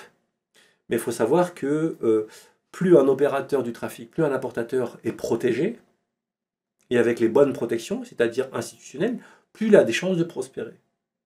Donc moi, ma responsabilité, c'est de me débrouiller, d'aller faire des entretiens avec des personnes qui ont ce profil-là de, de montrer ces trajectoires, de montrer l'existence de, de- de cette réalité-là. Voilà. Ça, c'est... Mais je ne peux pas en montrer l'ampleur. Euh, Non, moi, la question, c'est comment faire qu'un maximum de personnes, Hmm. euh, des personnes lambda, soient au courant de ça? bah, déjà, enfin, après, après c'est comment est-ce que les, les- la société, médias, journalistes se saisissent de travaux de recherche. Mais ça m'échappe. Moi, je le fais là. Hmm. Et je crois que c'est la première fois que je le fais. Euh, je parle de ces résultats-là parce que je ne les ai pas encore écrits, donc j'en parle avec, euh, avec, euh, avec toi, mais j'ai pas encore écrit là-dessus. Voilà. Mais, mais, enfin, si, je je suis en train d'écrire, mais c'est pas publié encore. Donc, donc oui, cette question-là, elle est, elle est fondamentale. Et comment est-ce que ceux qui sont en charge de la vulgarisation des résultats de recherche, la diffusion des résultats de recherche, euh, euh, s'en saisissent Pour changer le narratif. Ouais, et puis pour mieux connaître la société. Voilà, moi je pense que euh, tous ces réalisateurs euh, qui nous ressortent cette soupe tellement stéréotypée euh, du grossiste euh, ou du patron de deal qui est maghrébin, sauvage, barbare, et qui exploite un petit peu tout le monde autour de lui, euh, ils reproduisent un schéma et un narratif euh, euh, biaisé et raciste, euh, probablement sans s'en rendre compte parce qu'ils ont eu cette expérience d'avoir un dealer maghrébin euh, et que le dealer maghrébin existe. Oui, il existe. Mais si on ne fait pas l'effort euh, de regarder the, big picture, tu vois, la grande image, le grand panorama, et de penser autrement, en fait, euh, les, inter, euh, les interconnexions entre, euh, entre police, délinquance et, médiatisation, pour aller vite, euh, on reste enfermé dans ce petit schéma-là. J'aimerais bien qu'on aborde la question euh, d'un autre euh, terrain euh, sur lequel vous travaillez, euh, l'islamophobie, et je partirais euh, à partir de votre livre qui est sorti en 2013 avec euh, Abdelali Ajat. Donc euh, peut-être le présenter puisqu'il n'est pas là. Et le, le livre, c'était euh, Islamophobie, comment les élites françaises fa- fabriquent le problème musulman. Abdelaziz Hadjat, il est maître de conférence. En... Enfin, il était maître de conférence à Nanterre en sciences politiques et là, il a été recruté à, l'Université libre de Bruxelles en tant que professeur de, sociologie. Et, euh, donc, il a, démarré une nouvelle carrière de l'autre côté de la frontière chez nos amis belges. Euh, Abdelali, pour moi, c'est un des, franchement, un des chercheurs les plus brillants de sa génération.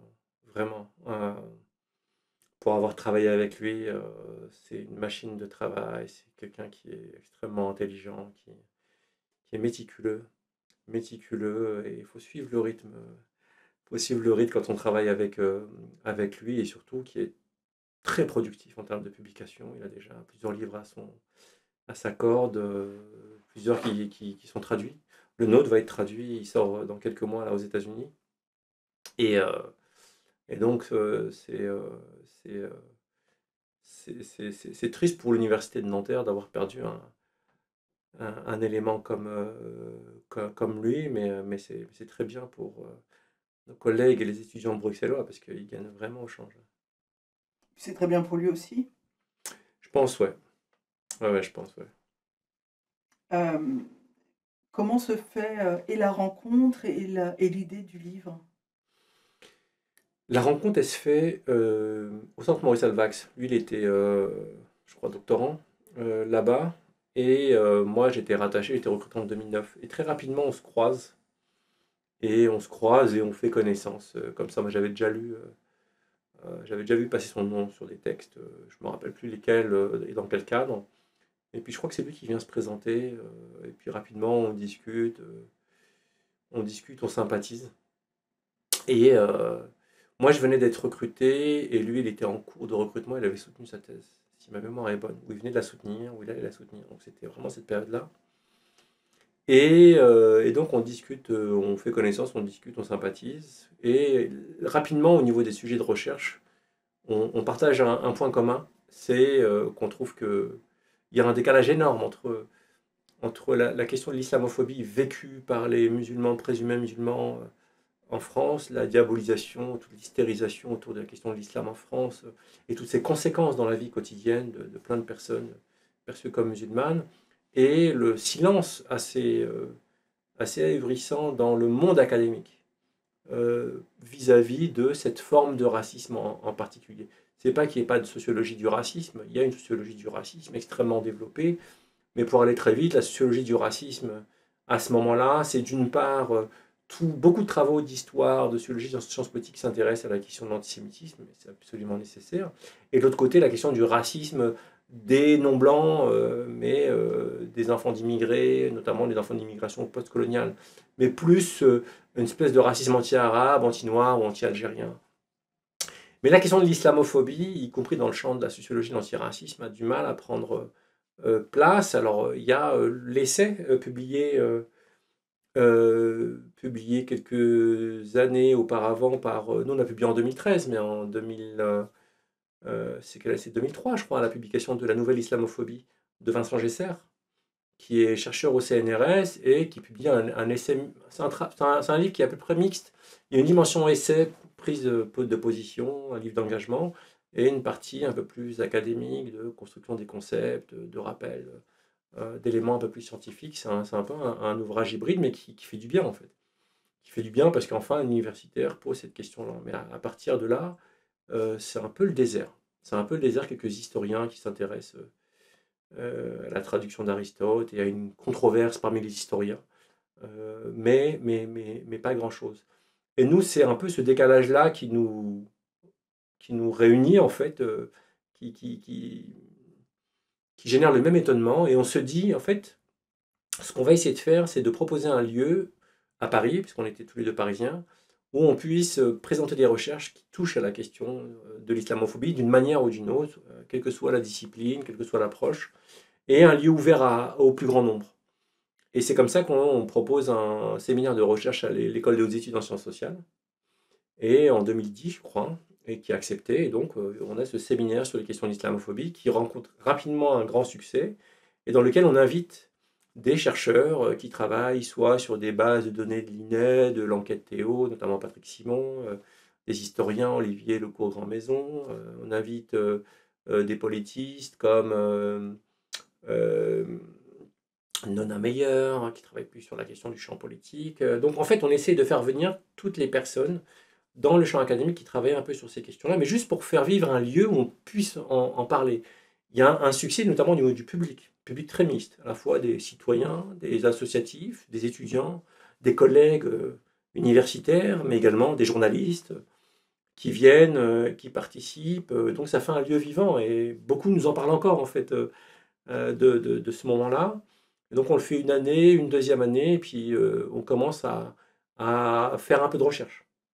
Donc euh, Abdal, il travaille sur le HCI, euh, moi je travaille sur les statistiques. euh, donc on commence à produire un peu de savoir, hein, on fait des enquêtes là-dessus, et rapidement on se dit, il serait bien que nos recherches soient publiées, mais qu'on fasse aussi une synthèse de la connaissance scientifique euh, sur ces, questions-là. Voilà.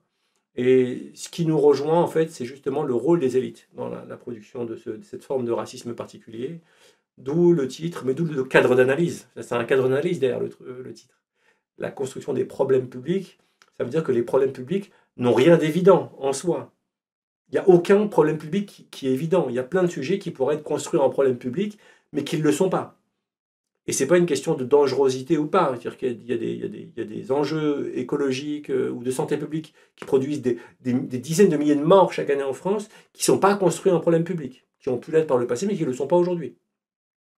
Donc c'est ça qui nous intéresse. Qui euh, se met d'accord? Qui parmi les différentes franges des élites euh, est engagé dans euh, l'idée, dans la construction de l'idée, la diffusion de l'idée que l'islam pose problème et que la présence musulmane est un problème en soi? Et c'est là que on, fait une synthèse d'une littérature extrêmement importante, qu'on publie les principaux résultats de nos recherches respectives, et, tout ça est, est présenté à la fin de la troisième année du séminaire. Je crois qu'il a duré trois ans de séminaire. J'ai deux questions à vous poser. Vous avez dit HCI.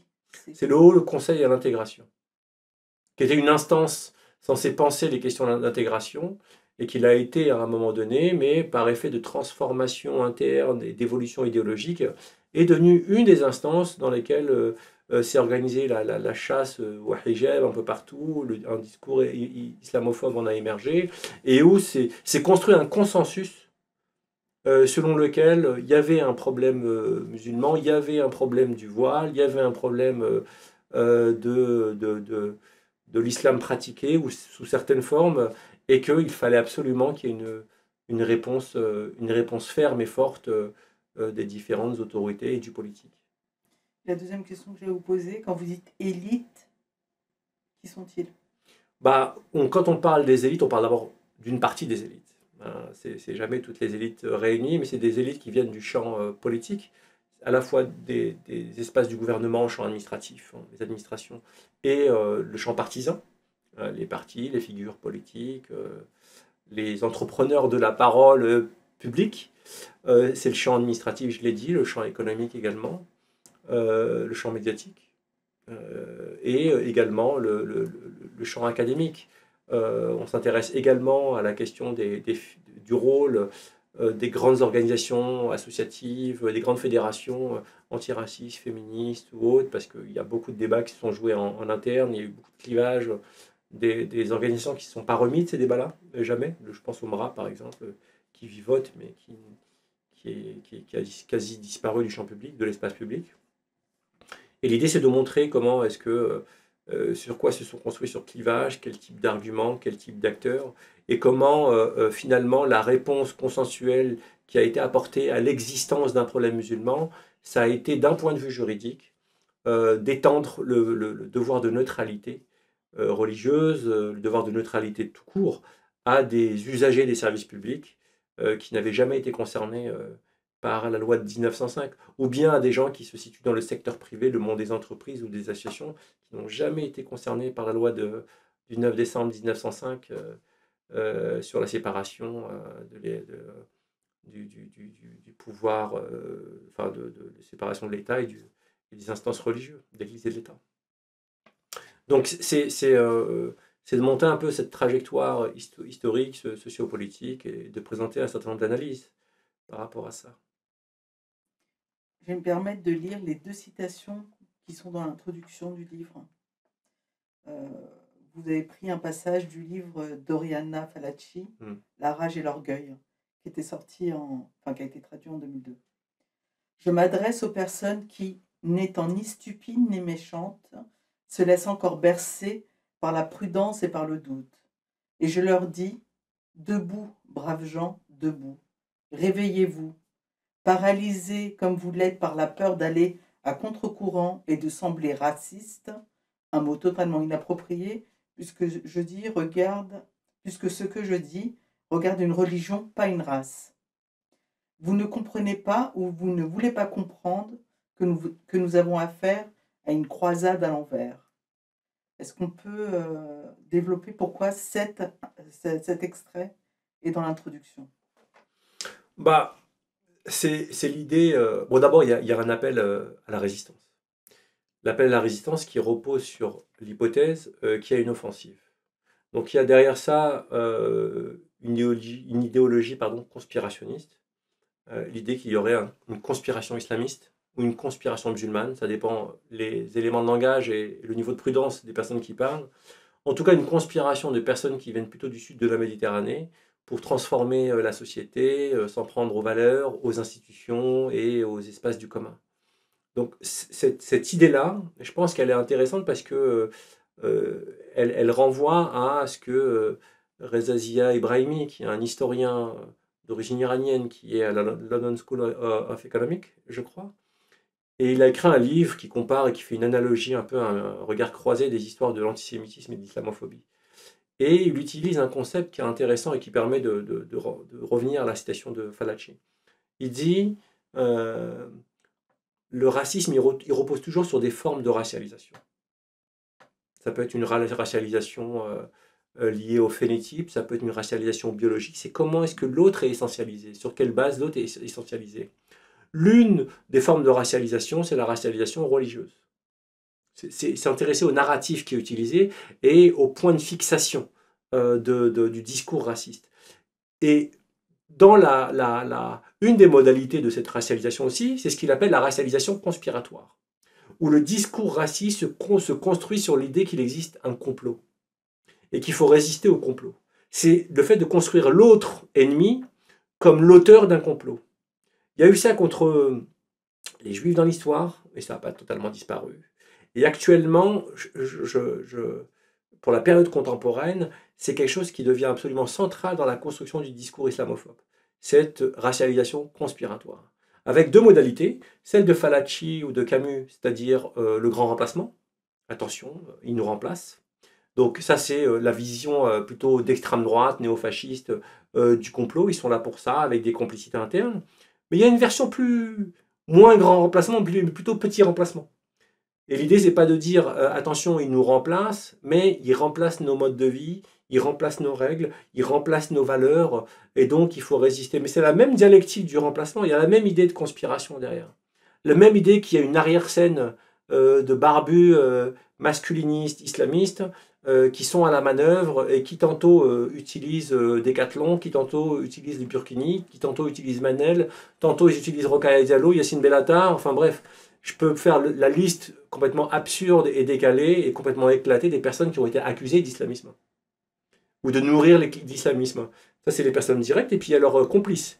Tous les islamo-gauchistes, wokistes, tous les néologismes qui sont utilisés, mais de manière complètement creuse et absurde, mais qui, sont présents dans l'espace public. Et toutes ces personnes-là sont désignées comme étant une espèce de naïfs, complices, euh, et qui aident à, à, cette conspiration-là. Et c'est devenu extrêmement puissant, il faut faire attention à, à ce discours-là. Donc je- pense que la mise en exergue de cet extrait de Falaci euh, permet euh, de se référer à ces deux enjeux, en fait, de la racialisation, le mode de racialisation, mais également l'idée d'un complot. Euh, et donc il y a aujourd'hui euh, plusieurs formes de conspirationnisme autour de la question du Covid, des vaccins, de la présence juive ou judéo-maçonnique. Mais il y a une autre forme de complotisme et de conspirationnisme qui est plus islamophobe, qui, postule que derrière toute forme d'islamité, il y a une offensive islamiste derrière. Et c'est pas partagé que par l'extrême droite. C'est pour ça que c'est pas qu'une question de grand remplacement. C'est de manière plus subtile, ça a été installé depuis le début des années 2000, même un petit peu avant, euh, par une partie de la gauche euh, républicaniste, par euh, une bonne partie de la droite aujourd'hui, qui alimente ce type de discours-là. Mais c'est pas que des discours, parce que ça se traduit aujourd'hui euh, par des mesures administratives, par des mesures de surveillance, euh, par des logiques de censure, des discriminations. Tous ces discours, toute cette vision d'un complot islamiste a des effets majeurs sur la vie quotidienne de millions de musulmans ou de millions de, personnes qui sont présumées musulmanes parce qu'elles sont arabes ou parce qu'elles sont euh, trop barbues ou parce que euh, euh, pour d'autres raisons où elles vont être prises pour des musulmans donc euh, subir une espèce de condition islamophobe.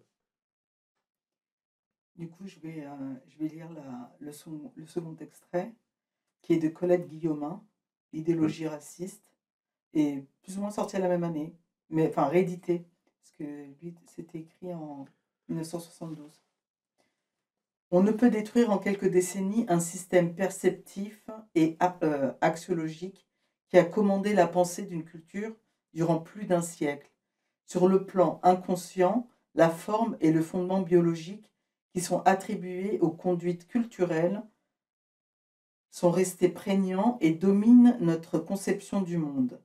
Si la race n'existe pas, cela n'en détruit pas pour autant la réalité sociale et psychologique des faits de race. Ce second extrait, vous l'avez mis pourquoi? Bah, D'abord pour dire que la question, raciale dans, dans le milieu académique français euh, date euh, de plusieurs décennies. Il n'est pas né euh, les dernières années, contrairement à ce discours dont on, veut, enfin, qui est diffusé.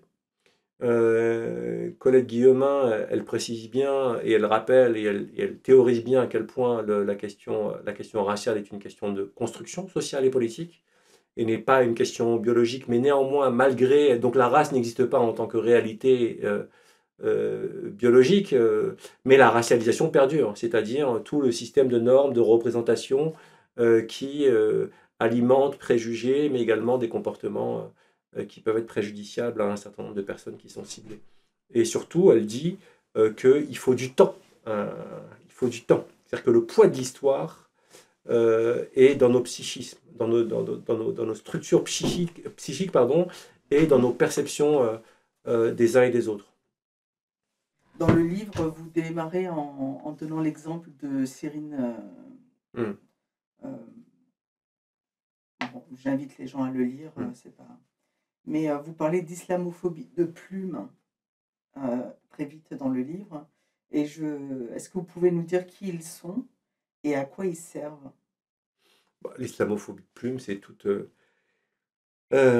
l'islamophobie qui passe par l'écriture de textes, l'élaboration d'idées, euh, de concepts, de théorisation, euh, qui vise à objectiver le fait que l'islam pose problème et à justifier le fait euh, qu'il faille se, défendre collectivement, politiquement, voire militairement, policièrement contre, contre une, menace et un, péril musulman. Je ne parle, pas de, je parle pas ici de la question du, du terrorisme ou de la violence politique euh, et du fait de, de s'en, défendre. Ce n'est pas la question. Euh, là, l'enjeu, c'est, vraiment de comprendre qui sont et comment se construit ce discours d'objectivisation, d'objectivation pardon, du problème musulman et de légitimation euh, de mesures, de discours, de propos, ou voire de politique qui est une teneur islamophobe. Et donc, qui y sont? Eh ben, c'est toute une série de personnes, d'abord qui ont accès à la parole publique, euh, qui sont en mesure d'écrire euh, et de diffuser leurs idées, euh, mais euh, c'est très varié en fait les profils. On a à la fois euh, des philosophes ou psy, psy- plutôt des philosophes ou assimilés à, ce, corps, euh, donc beaucoup d'intellectuels, d'universitaires, euh, d'hommes de médias, euh, essayistes, euh, journalistes, euh, qui sont extrêmement actifs, et puis toutes les personnes qui sont issues du champ politique. Et à côté de ça, il y a les théoriciens euh, plus idéologiques liés euh, à, des, à des corps plus partisans, donc qui, qui fouillent les choses, qui vont donner une substance historique, philosophique à, ce type de, de pensée et de justification. Mais quand on regarde comment est construit, quels sont les profils des discours, enfin quels sont les profils et les discours des personnes qu'on peut, qu'on peut classer dans l'islamophobie de, de, de plume, c'est très varié. On a des gens qui viennent historiquement de la gauche, d'autres qui viennent de la droite, et leurs motivations ne sont pas forcément les mêmes. C'est-à-dire le système idéologique euh, sur lequel ils s'appuient, ou les causes sur lesquelles ils s'appuient, euh, pour euh, justifier un discours islamophobe ou des pratiques de ce, type-là, c'est très différent. On a des gens qui, viennent du mouvement féministe et qui ont une vision très ethnocentrée, très, comment dire, euh, étroit euh, de ce que doit être le féminisme, la cause du féminisme, et, ce que peut être, euh, et ce qu'est la libération et l'émancipation des femmes, par exemple, et donc qui nie aux personnes qui se définissent comme musulmanes toute espèce de, discours ou de légitimité féministe au nom du fait qu'il se réfère à un corps religieux, idéologique, théologique, qui impose une distinction, des différences, etc., sans les écouter, sans euh, écouter leur trajectoire, leur, leur argument. C'est très, très étroit. On a des gens qui viennent euh, euh, plutôt de- des mouvements de la libre pensée, qui sont à la base des anticléricaux, mais des, anticléricaux qui se limitent pas à s'en prendre à toute forme de pouvoir religieux, mais qui s'en prennent aussi aux croyants. Ça, c'est une ligne de clivage parmi les an- les anticléricaux. On a des gens dont la motivation sont plus des motivations de mépris de classe, qui considèrent que les musulmans, c'est des, des prolos, et, et à ce titre-là, on a des personnes qui sont euh, xénophobes et qui associent euh, islamité avec euh, altérité nationale.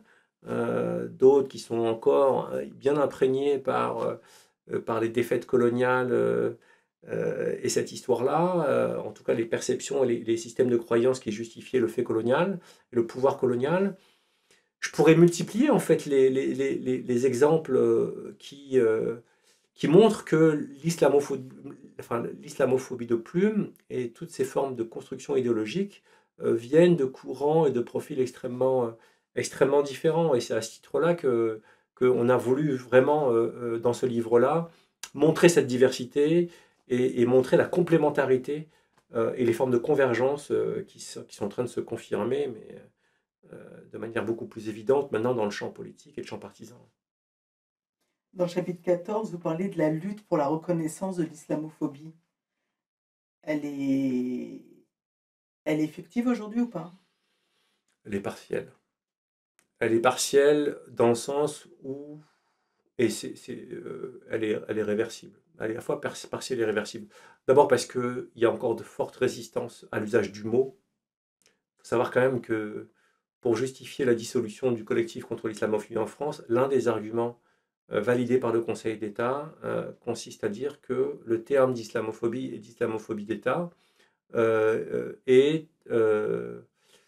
un terme, alors j'utilise pas les termes précis, mais je, reproduis ici l'idée, et, est un mode de légitimation d'un discours et d'une posture victimaire qui alimente elle-même des formes de réaction violente, et le terrorisme, ou la radicalisation.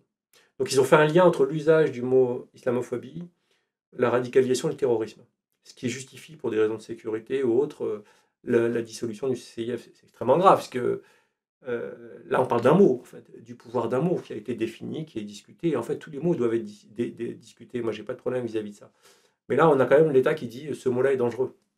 C'est pas à l'État de dire quels mots sont dangereux.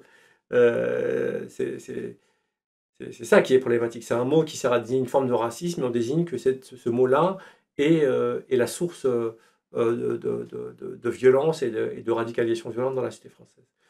Donc ça, euh, c'est pas fini en fait cette histoire. Et puis là, maintenant que le Conseil d'État s'est prononcé dans ce, dans ce sens-là, je pense que ça risque d'avoir des implications, y compris dans le milieu de la recherche et sur la manière de faire de la recherche, on verra, mais c'est pas, pas neutre. L'autre chose que, que, que je peux dire, c'est que il y, a- moins de débats autour de la notion d'islamophobie. C'est-à-dire que même chez des personnes qui euh, étaient contre son utilisation, euh, en fait, il, est rentré dans le langage courant. Euh, il, se diffuse et il, y a moins de, résistance. Mais en même temps, il y a moins de résistance, il y a moins d'utilisation. Parce que c'est devenu un mot qui, brûle les doigts et il y a de moins en moins de personnes qui, veulent se risquer à l'utiliser. Donc c'est ça le, le vice. C'est-à-dire qu'il y a moins en moins de personnes qui veulent l'utiliser, mais il est quand même utilisé, il suscite moins de résistance. Alors je ne sais pas si c'est une progression dans ce sens-là. En tout cas, euh, dans le champ de l'antiracisme, c'est globalement un mot qui s'est imposé, même dans l'antiracisme qui résistait euh, à l'utilisation de ce mot-là. Dans le milieu académique, il s'est considérablement diffusé. Et à mon avis, on n'y est pas pour rien. Euh, c'est l'avantage de faire un travail sérieux, en fait, construit, euh, d'être ouvert à la discussion, d'être ouvert au débat. Et pour le coup, moi, j'ai toujours dit, je suis ouvert au débat, en fait. euh. Et on s'est posé la question avec Abdelali Hadjad, par exemple, si euh, le mot islamophobie était le plus approprié. On s'est posé la question tous les deux, on a débattu, on a lu, on a posé les arguments, et au final, on, a, décidé de, s'en saisir et d'en donner une définition qui évite des instrumentalisations, des usages qui, qui sont pour nous pas forcément appropriés. Et donc, euh, on peut utiliser n'importe quel terme de racisme pour instrumentaliser et instrumentaliser tout terme de racisme. de, de l'antiracisme ou du racisme. C'est c'est possible avec chaque mot. C'est possible avec le mot islamophobie, c'est possible avec le mot négrophobie, c'est possible avec le mot islamo antisémitisme. C'est pas les mots le problème ou la définition que des chercheurs lui en donnent, c'est comment est-ce que des personnes s'en saisissent et quelles sont leurs intentions politiques. Mais c'est valable avec beaucoup de mots. Beaucoup, beaucoup de mots. Donc c'est pas un argument en tant que tel. Voilà. En fait, derrière tous ces débats sur la notion d'islamophobie, la question fondamentale c'était euh, est-ce qu'il faut, parler de cette forme de racisme? Et la résistance, elle, était là. Euh, c'est très compliqué pour des personnes qui participent à la construction du problème musulman de reconnaître que cette construction a des effets négatifs. Donc c'est très difficile de tenir une position où on pense qu'il y a un problème musulman, euh, mais qu'il y a un racisme anti-musulman. Pour des personnes qui veulent se présenter comme républicains.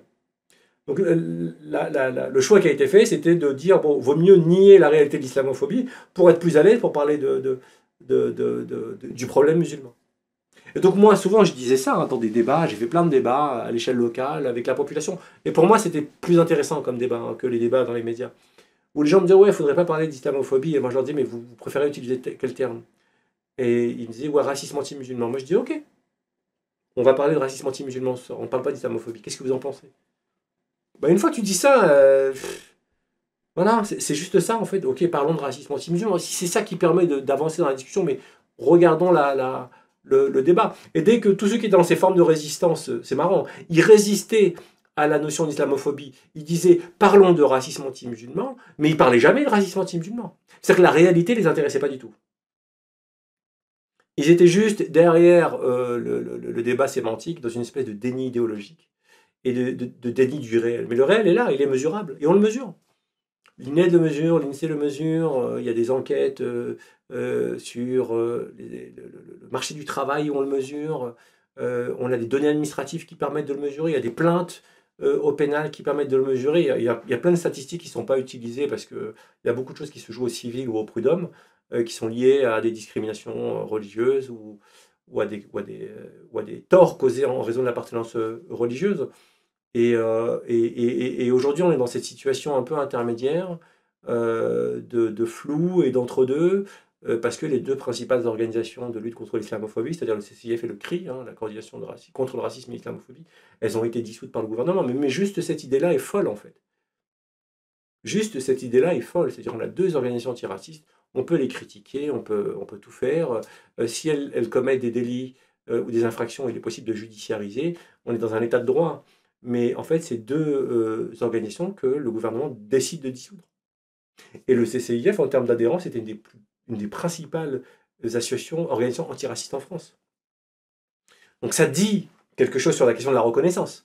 C'est-à-dire qu'il y a une forme de reconnaissance où il n'y a plus trop de débat sur le terme, mais il n'y a plus trop de structure en fait. Il y en a quelques-unes qui sont en train d'émerger. euh, euh, le débat, on en parle beaucoup moins, il est extrêmement coûteux. Euh, et puis, euh, puis voilà, on est dans cette espèce d'entre-deux là où on ne sait pas trop où on va. euh, mais c'est clair qu'on a changé d'air. Et justement, dans le chapitre 15, vous parlez des avocats dans la lutte contre l'islamophobie, comme le CCIF et, et, et les avocats de la lutte. Alors les avocats sont indépendants du CCIF, même Oui, s'ils travaillent avec. Donc les avocats, bah, il y a encore des avocats qui continuent à plaider des affaires ou à soutenir ou, à, ou à tenter d'accompagner juridiquement des, des- personnes qui se déclarent euh, victimes, euh, soit d'actes, de discrimination, de, propos, euh, de, propos islamophobes. Mais c'est vrai qu'il n'y a plus cette... Enfin, il n'y a plus en France maintenant, c'est le CCIE, et il faut comprendre qu'il y avait des passerelles entre les deux, les deux organisations. Mais, mais, mais c'est clair que euh, on n'est plus du tout dans le même schéma. En fait. On n'est plus du tout dans le même schéma aujourd'hui. Euh, Il y a, il me semble, un, je veux dire, euh, il y a le fait que les, un certain nombre d'idées islamophobes sont devenues euh, hégémoniques dans la société française, en tout cas dans le champ politique, pas dans la société française, dans le champ politique qu'il y a une telle violence sur les réseaux sociaux qu'il y a eu des effets d'intimidation, l'usure d'un certain nombre de militants, d'activistes euh, qui préfèrent euh, faire un pas de côté. Il y a eu la loi séparatisme, hein, la loi confortant les principes républicains, qui a offert au préfet et à l'État des moyens de, en tout cas, qui a été dénoncé par tous les défenseurs des, libertés individuelles, de la liberté associative, qui, donne des moyens de, rétorsion de répression euh, considérables contre les, euh, qui viseraient le secteur associatif ou les administrations publiques, voire même les collectivités locales. Un pouvoir d'intervention de l'État en direct sur l'attribution de financement, sur l'organisation de telle ou telle activité qu'on n'a jamais vu euh, euh, jusque-là. Et quand on voit, euh, il y a le, rapport de l'Observatoire de la liberté associative, ils, ont pondu un rapport extrêmement détaillé, affaire par affaire, où ils expliquent un petit peu où est-ce que, quand est-ce que ce- ce- ces atteintes à la liberté associative se sont manifestées, où et comment. C'est fou en fait. Euh, le niveau, euh, le niveau d'interventionnisme et on se pose vraiment des questions euh, de, de- sur le maintien de l'ordre démocratique et de l'état de droit quand on voit comment, comment l'État peut intervenir à l'échelon le plus, le plus local. Donc voilà, il y a une espèce de gros coup de pression de l'État qui est passé par là, des formes d'intimidation, et puis il faut dire ce qui est, les différentes vagues d'attentats, elles, ont, elles ont contribué à, basculer, à, des, à des- à des- basculements dans l'opinion, euh, euh, à...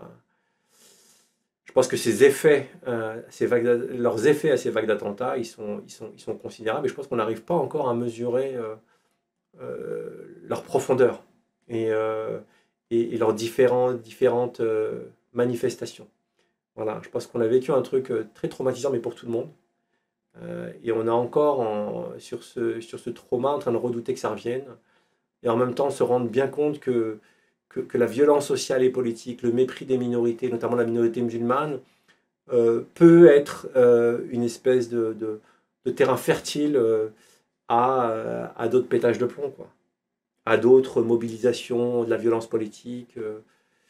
Euh. donc, euh, donc je pense que personne n'est serein vis-à-vis de, vis-à-vis de ça. Et, dans le champ académique, on continue à en discuter, mais, mais c'est, plus forcément euh, la même énergie. Moi, je connais beaucoup de jeunes chercheurs, des, doctorantes et des doctorants, des étudiants qui, qui, se, qui réfléchissent à deux fois avant de se lancer sur ces sujets-là. Euh, J'en connais qui ont changé de sujet pour pas se griller. C'est la phrase. hein. Je préfère changer de sujet pour pas me griller. Euh, donc ça reste, euh, ça reste coûteux ou c'est présumé coûteux. En tout cas, pour nous, en tant que chercheurs, on n'a pas publié euh, notre livre avant d'être. euh, et on n'a pas monté notre séminaire avant d'être euh, titularisé. Donc ça, dit déjà quelque chose de notre perception de l'illégitimité du sujet, en tout cas du caractère coûteux de s'engager, y compris scientifiquement, sur ces thématiques-là. Et ça n'a pas été de tout repos. Moi, je me plains pas. ma carrière. moi, je considère que je travaille de manière libre dans le champ académique. Mais c'est pas parce qu'on considère libre dans le champ académique qu'on prend pas des coups. Et on se prend beaucoup de coups euh, qui sont absolument pas justifiés. Voilà. On on devrait pas se prendre des coups quand on aborde tel ou tel euh, sujet avec les armes de la sociologie. Pas d'accusation, pas de suspicion. Ça devrait pas être aussi malsain que ça. Et c'est très violent. C'est très violent. En même temps, euh, moi je dis souvent ça, parce qu'on me pose souvent la question, euh, c'est pas violent, c'est pas dur. Franchement, on a, j'ai le sentiment qu'on a quand même le cœur solide. hein. C'est pas, euh, c'est pas des petites attitudes de, de rejet, de machin qui, enfin en tout cas moi qui me déstabilisent. euh, pas plus que ça en fait. euh. On a vu d'autres. Et justement, votre conclusion, la conclusion du livre, c'était contre l'unanimisme islamophobe. Aujourd'hui, puisque le livre est sorti en 2013, on est pratiquement dix ans plus tard. Qu'est-ce qu'on dit de cette conclusion? Bah, en fait, on a, rédigé, une autre conclusion. Et le titre de la dernière conclusion, c'est Vers un point de non-retour, point d'interrogation. Donc on n'est pas forcément très, euh, optimiste euh, quand on voit euh, l'évolution bah, déjà des opinions, mais également du champ politique à travers le jeu électoral. Euh, tout le monde euh, est là en train de redouter, euh, de redouter euh, l'arrivée de l'extrême droite officielle ou l'arrivée officielle de l'extrême droite. qu'on peut voir par ailleurs dans les pays qui sont pas très loin de la France. Oui, et puis je pense qu'il y a certaines mesures du gouvernement actuel et du précédent qu'aurait pu mettre en place un gouvernement dirigé euh, par, euh, par le Rassemblement national. ou certains propos tenus. euh, Voilà. D'ailleurs, des mesures ou, des propos qui ont été félicités par le Rassemblement national. Aujourd'hui, à la tête des Républicains, on a, on a une figure d'extrême droite, Éric Ciotti. C'est un homme d'extrême droite qui est à la tête des Républicains. L'extrême droite officielle, euh, elle, augmente euh, ses scores en termes de, nombre de votes, d'élection nationale en élection nationale. Elle a, le Rassemblement national a battu son record de députés. Et à l'inverse, euh, malgré son rassemblement, quand on compte la somme des voix recueillies par la gauche rassemblées autour de l'ANUS, on se rend compte que ce qu'on appelle la gauche aujourd'hui est, minoritaire, sans présumer de ce que pensent les abstentionnistes, qui sont un point d'interrogation, en tout cas qui n'ont pas été motivés, euh, qui n'ont pas été motivés euh, et qui ne sont pas partis voter. Donc non, il n'y a pas de quoi être, euh, de pas être optimiste, surtout que au-delà de, la question de- du champ politique et des élites, quand on s'intéresse également au vécu, à l'expérience des personnes musulmanes et des musulmans lambda, du quotidien, ce soit des gens qui, qui ont des positions de classe moyenne supérieure ou, qui appartiennent aux classes populaires, euh, c'est pas simple en fait. Une espèce de chape de plomb, de charge raciale, l'impression d'être suspecté, de devoir montrer pas de blanche tout le temps, c'est absolument usant. Voilà. Donc c'est en ça qu'on se dit euh, vers quoi, on, se pose la question vers quoi on va. Et justement, puisque on parlait euh, de, de tous ces. euh, de ce sujet-là, la- l'islamophobie, par rapport à l'université et tout, et comment il y a une espèce de chasse aux, aux sorcières aussi euh, dans, dans ces milieux-là. Est-ce que vous, ça a pu vous atteindre ou est-ce que. euh, Non. En fait, il y a une promesse de, cha- de, de chasse aux sorcières de l'ancienne ministre euh, Vidal et, de l'ancienne ministre de l'Éducation Blanquer et d'autres ministres. Euh, mais en fait, euh, alors à moins qu'il s'est passé, il soit passé des choses, mais je ne suis pas informé, mais la grosse partie, la majeure partie des universitaires euh, ont critiqué ces prises de position, sont solidaires. Et moi, je fais globalement confiance à mes collègues. Voilà. Je fais confiance à mes collègues. euh, euh, certes, un certain nombre d'universitaires de plus en plus ils sont de plus en plus nombreux à, affirmer une position très conservatrice, très à droite. Donc c'est assez nouveau en fait qu'on ait des tribunes euh, euh, euh, qui sont signées par des universitaires et qui demandent à ce que l'islamo-gauchisme soit combattu, que le communautarisme soit combattu.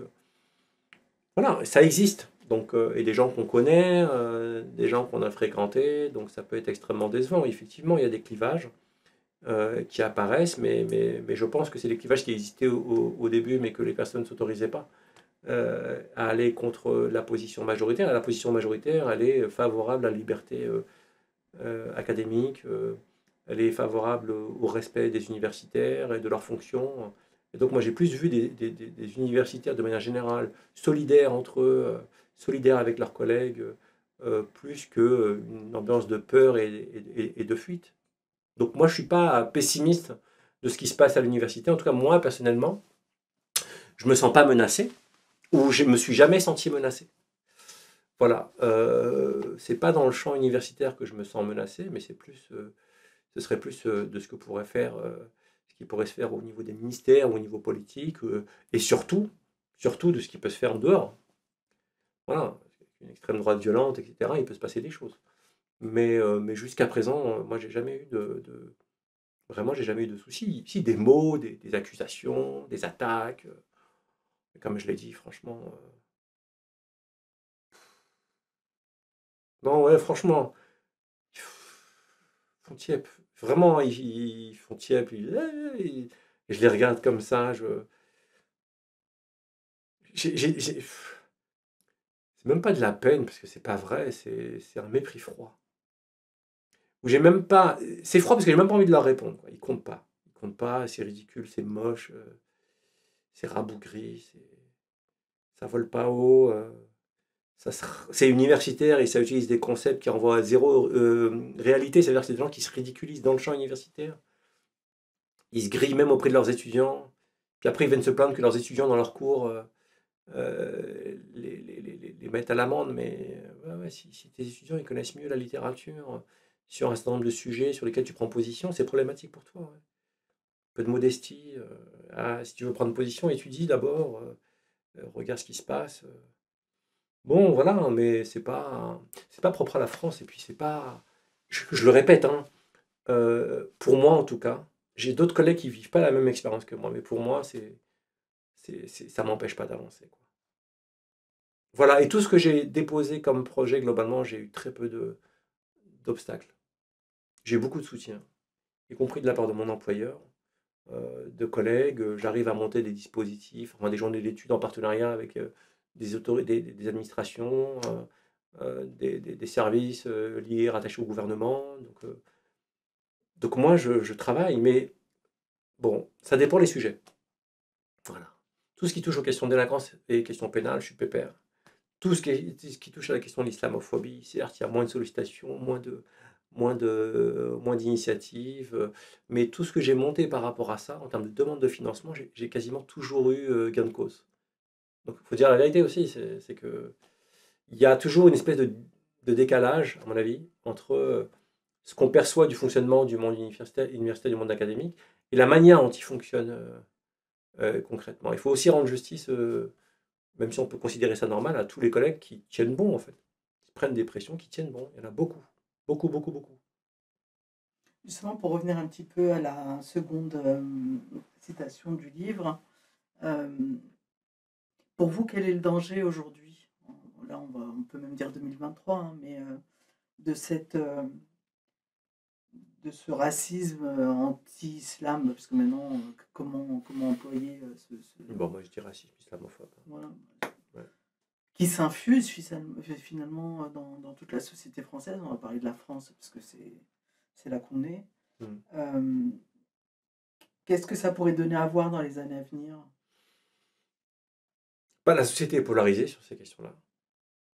Et cette polarité, elle est entretenue par les élites qu'on entend par les chaînes d'information continue, par une partie du pôle médiatique. Alors bien sûr, il y a des contre-pouvoirs, mais ça pèse pas beaucoup hein, vis-à-vis de la force de frappe qui est en face. Donc, euh, euh, c'est la situation actuellement. Euh, et je vois bien que beaucoup de personnes font des efforts pour construire du commun par l'imaginaire. ça bouge hein, dans le cinéma, dans la musique, dans la culture, dans la culture populaire il se passe des choses chez les humoristes, il se passe des choses extrêmement intéressantes. Il y a un renouvellement de population, des images, des références. Dans le milieu universitaire, il je qu'il y a des espaces euh, dans lesquels ça, bouillonne, ça propose, et c'est des espaces qui essaient de construire du commun, y compris dans une partie du champ politique plutôt à gauche, où, euh, voilà, il y a un travail d'éducation politique, de déconstruction qu'on peut trouver sur plein de sujets, pas que sur les questions d'antiracisme, sur d'autres sujets. Mais euh, tout ce bouillonnement bénéficie et touche qui? C'est ça la question. Il y a une partie de la population qui maintient à distance pour des raisons idéologiques de classe ou autres. Une autre partie de la population qui ne se sent pas concernée, qui a l'impression que ça ne vient pas à eux, qui, peuvent se sentir exclus de ce bouillonnement euh, et qui ne le vivent pas très bien. ils sont dans les mêmes enjeux de dignité, de survie sociale et ils vont chercher leur réponse peut-être ailleurs. Donc, il y a deux enjeux, euh, à mon avis. C'est est-ce que, est-ce que, est-ce que, est-ce qu'il, est-ce y a euh, parmi toutes les personnes qui sont abstentionnistes, à distance, en colère, etc. Est-ce qu'il y a possibilité de de reconstruire un, commun avec tous ces gens-là? Et euh, de, de, rééquilibrer les rapports de force euh, sur une ligne plus progressiste, plus libérale, plus ouverte? C'est un des enjeux, en fait. Mais c'est un enjeu pour chaque parti politique aujourd'hui. Comment reconquérir les ouvriers blancs, les zones rurales, précaires, petits modestes, agriculteurs. Donc c'est un, vrai sujet parce que parce qu'il y, a des formes d'opposition idéologiquement. Le, les discours d'extrême droite, les partis d'extrême droite ont fait le travail d'aller parler un petit peu à tout le monde. Ça, c'est la première des choses. Et, l'autre chose, c'est euh, euh, est-ce qu'il va, est va être possible de changer la donne d'un point de vue politique dans une situation où l'économie se dégrade, l'environnement se dégrade c'est ça quand même en ligne de fond euh, qui, qui, qui m'inquiète plus en fait. C'est qu'on est dans un contexte où, euh, où les angoisses collectives, les angoisses individuelles, euh, accentuées par la pandémie, mais pas que, ont pris une, une ampleur, euh, une ampleur particulière et, et les choses se- sont en friction, sont en tension. Moi, moi, ce que, moi, j'ai, moi, ce qui me fait peur, c'est, c'est, c'est le vrillage en fait. C'est, un peu le pétage de plomb. C'est, c'est des formes de radicalisation, mais quelles qu'elles soient, euh, de, de, de, de, prise de recul, avec l'idée que de perte de confiance dans un- une possibilité d'avenir. Et là, euh, franchement, euh, c'est pas, c'est, c'est, c'est- pas la joie. hein. C'est pas la joie. Donc, comment est-ce qu'on peut euh, construire un, un cadre commun, un environnement, peut-être un avenir un peu plus, un peu, un peu plus radieux, collectivement, mais sur des bonnes bases Je ne sais pas, en fait. euh, la vérité, c'est que je ne sais pas. Je suis comme beaucoup de personnes. euh, J'écoutais à ton micro Maboula euh, qui parlait de ça, ces, en- ces ambivalences, ces tensions, ces questions entre l'ici et l'ailleurs, notamment en Amérique du Nord, où, la question de sa place se pose. je pense que de mon point de vue, ça se pose aussi. Voilà. Des, des fois, on se dit, mais est-ce que ça vaut le coup de mettre autant d'énergie Euh, c'est vraiment des, questions qu'on se pose. Au jour, au jour d'aujourd'hui, oui, je suis dans cette énergie-là en disant, euh, manière, euh, c'est mon pays, c'est mon avenir. Et euh, il, faut, il, faut, il, faut, il faut travailler pour l'intérêt général, pour demain, pour les enfants, les petits-enfants, ceux de nos voisins. Mais, mais c'est un mood qui peut changer.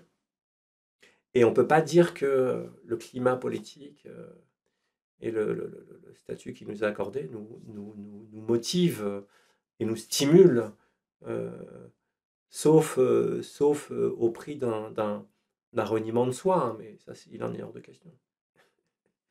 Il en est hors de question. Et en fait, même sur ça, moi, je suis très, très tolérant vis-à-vis de ceux qui, qui, tentent de se conformer et d'aller au-delà de la- de- de- l'assimilation, qui, qui veulent absolument offrir hein, toute une série de garanties, quitte à s'oublier soi-même. Moi, j'ai beaucoup de respect pour eux. C'est comme ça qu'ils gèrent, en fait. Euh, Je trouve que parfois les discours sont durs à leur, égard et ils, sont. Quand on est ouvert, on est ouvert. Quand on est libéral, on est libéral, on accepte les trajectoires de chacun, les choix de chacun.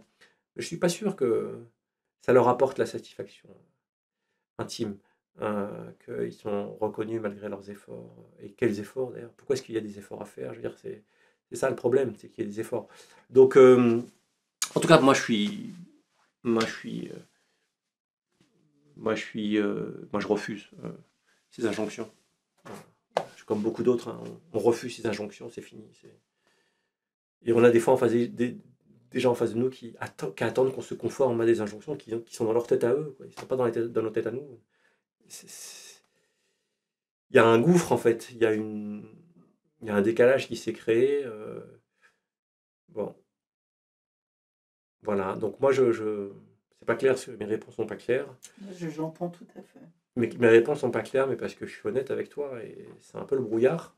Voilà, c'est un peu le brouillard. Mais dans, je sais pas, moi, dans 3-4 ans, euh, ce que je ferai, euh, c'est- c'est c'est- c'est pas clair en fait. Oui, et surtout que là, vous êtes à un endroit encore plus compliqué, c'est que vous êtes obligé de, dans cette équation, et les enfants. Hmm. Il n'y a pas que vous. Oui, bien sûr, bien sûr. Après, moi, je ne suis pas dans l'équation la plus compliquée. euh, je fais partie de la petite minorité de Français qui appartient aux classes moyennes et supérieures, aujourd'hui.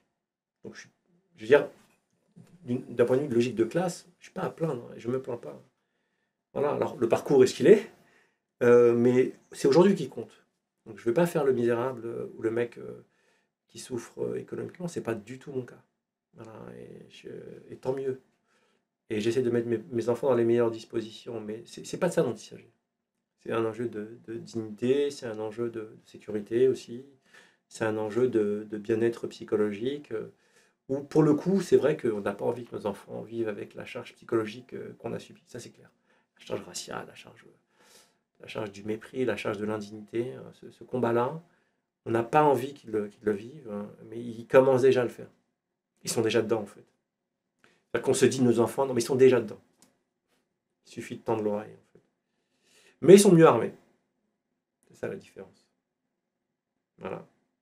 Et c'est vrai que moi, je, je- autour de moi, euh, je pense que c'est pareil pour vous, euh, on connaît des personnes qui sont parties, qui ont fait le choix de quitter euh, la Mhm. France. Et euh, c'est comme, euh, c'est comme si on avouait que, que, que la partie a été perdue. Non, mais déjà, il y a plein d'expats qui sont français blancs et qui s'y retrouvent plus en France. Et eux, ils ont pas, ils se disent pas la, la, la, la, partie est perdue. Ils disent oh, l'herbe est plus verte ailleurs, ou j'ai plus de chance ailleurs, euh, ou j'en ai marre de l'ambiance, euh, ou bien j'ai une super opportunité. Donc, euh, pourquoi pour nous, ça serait euh, une espèce de, de reniement de des... Non, on, peut être des expats comme les autres. C'est un point. hein. Moi, j'ai rencontré, pour le coup, j'étais expat deux ans à New York. Donc, euh, j'ai fréquenté beaucoup d'expats, notamment français, certains qui sont devenus très bons amis à moi, que j'aime beaucoup. Et en fait, euh, l'un de nos points communs, l'une de nos motivations com- communes, c'était aussi de souffler. Donc, eux, ils n'ont pas la charge raciale. Voilà. Mais on peut subir et, ne pas supporter la charge raciale subie par d'autres. Sans être soi-même victime du racisme, mais de subir indirectement le racisme parce que ça crée un climat, une, société dans laquelle on ne veut pas vivre. Voilà. Donc, euh, c'est c'est pas, si éloigné euh, pour certains en termes de trajectoire. Je parle pas de tous les expats, mais de ceux dont j'étais proche, c'était quand même un sujet, euh, ils sont pas proches par hasard non plus, un sujet qui, sur lequel on discutait, euh, on discutait beaucoup. Mais oui, effectivement, certains peuvent se dire, je pars par dépit, euh, je pars parce que j'ai plus ma place, je pars pour survivre. Effectivement, euh, euh, c'est un départ qui est beaucoup plus amer que de se dire, je pars parce que j'ai envie de tenter une super expérience à l'étranger. Mais, mais voilà, j'ai un grand-père qui n'est pas, pas né au Maroc, qui arrive au Maroc, des parents qui sont au Maroc, qui sont venus en France, nous on est né en France.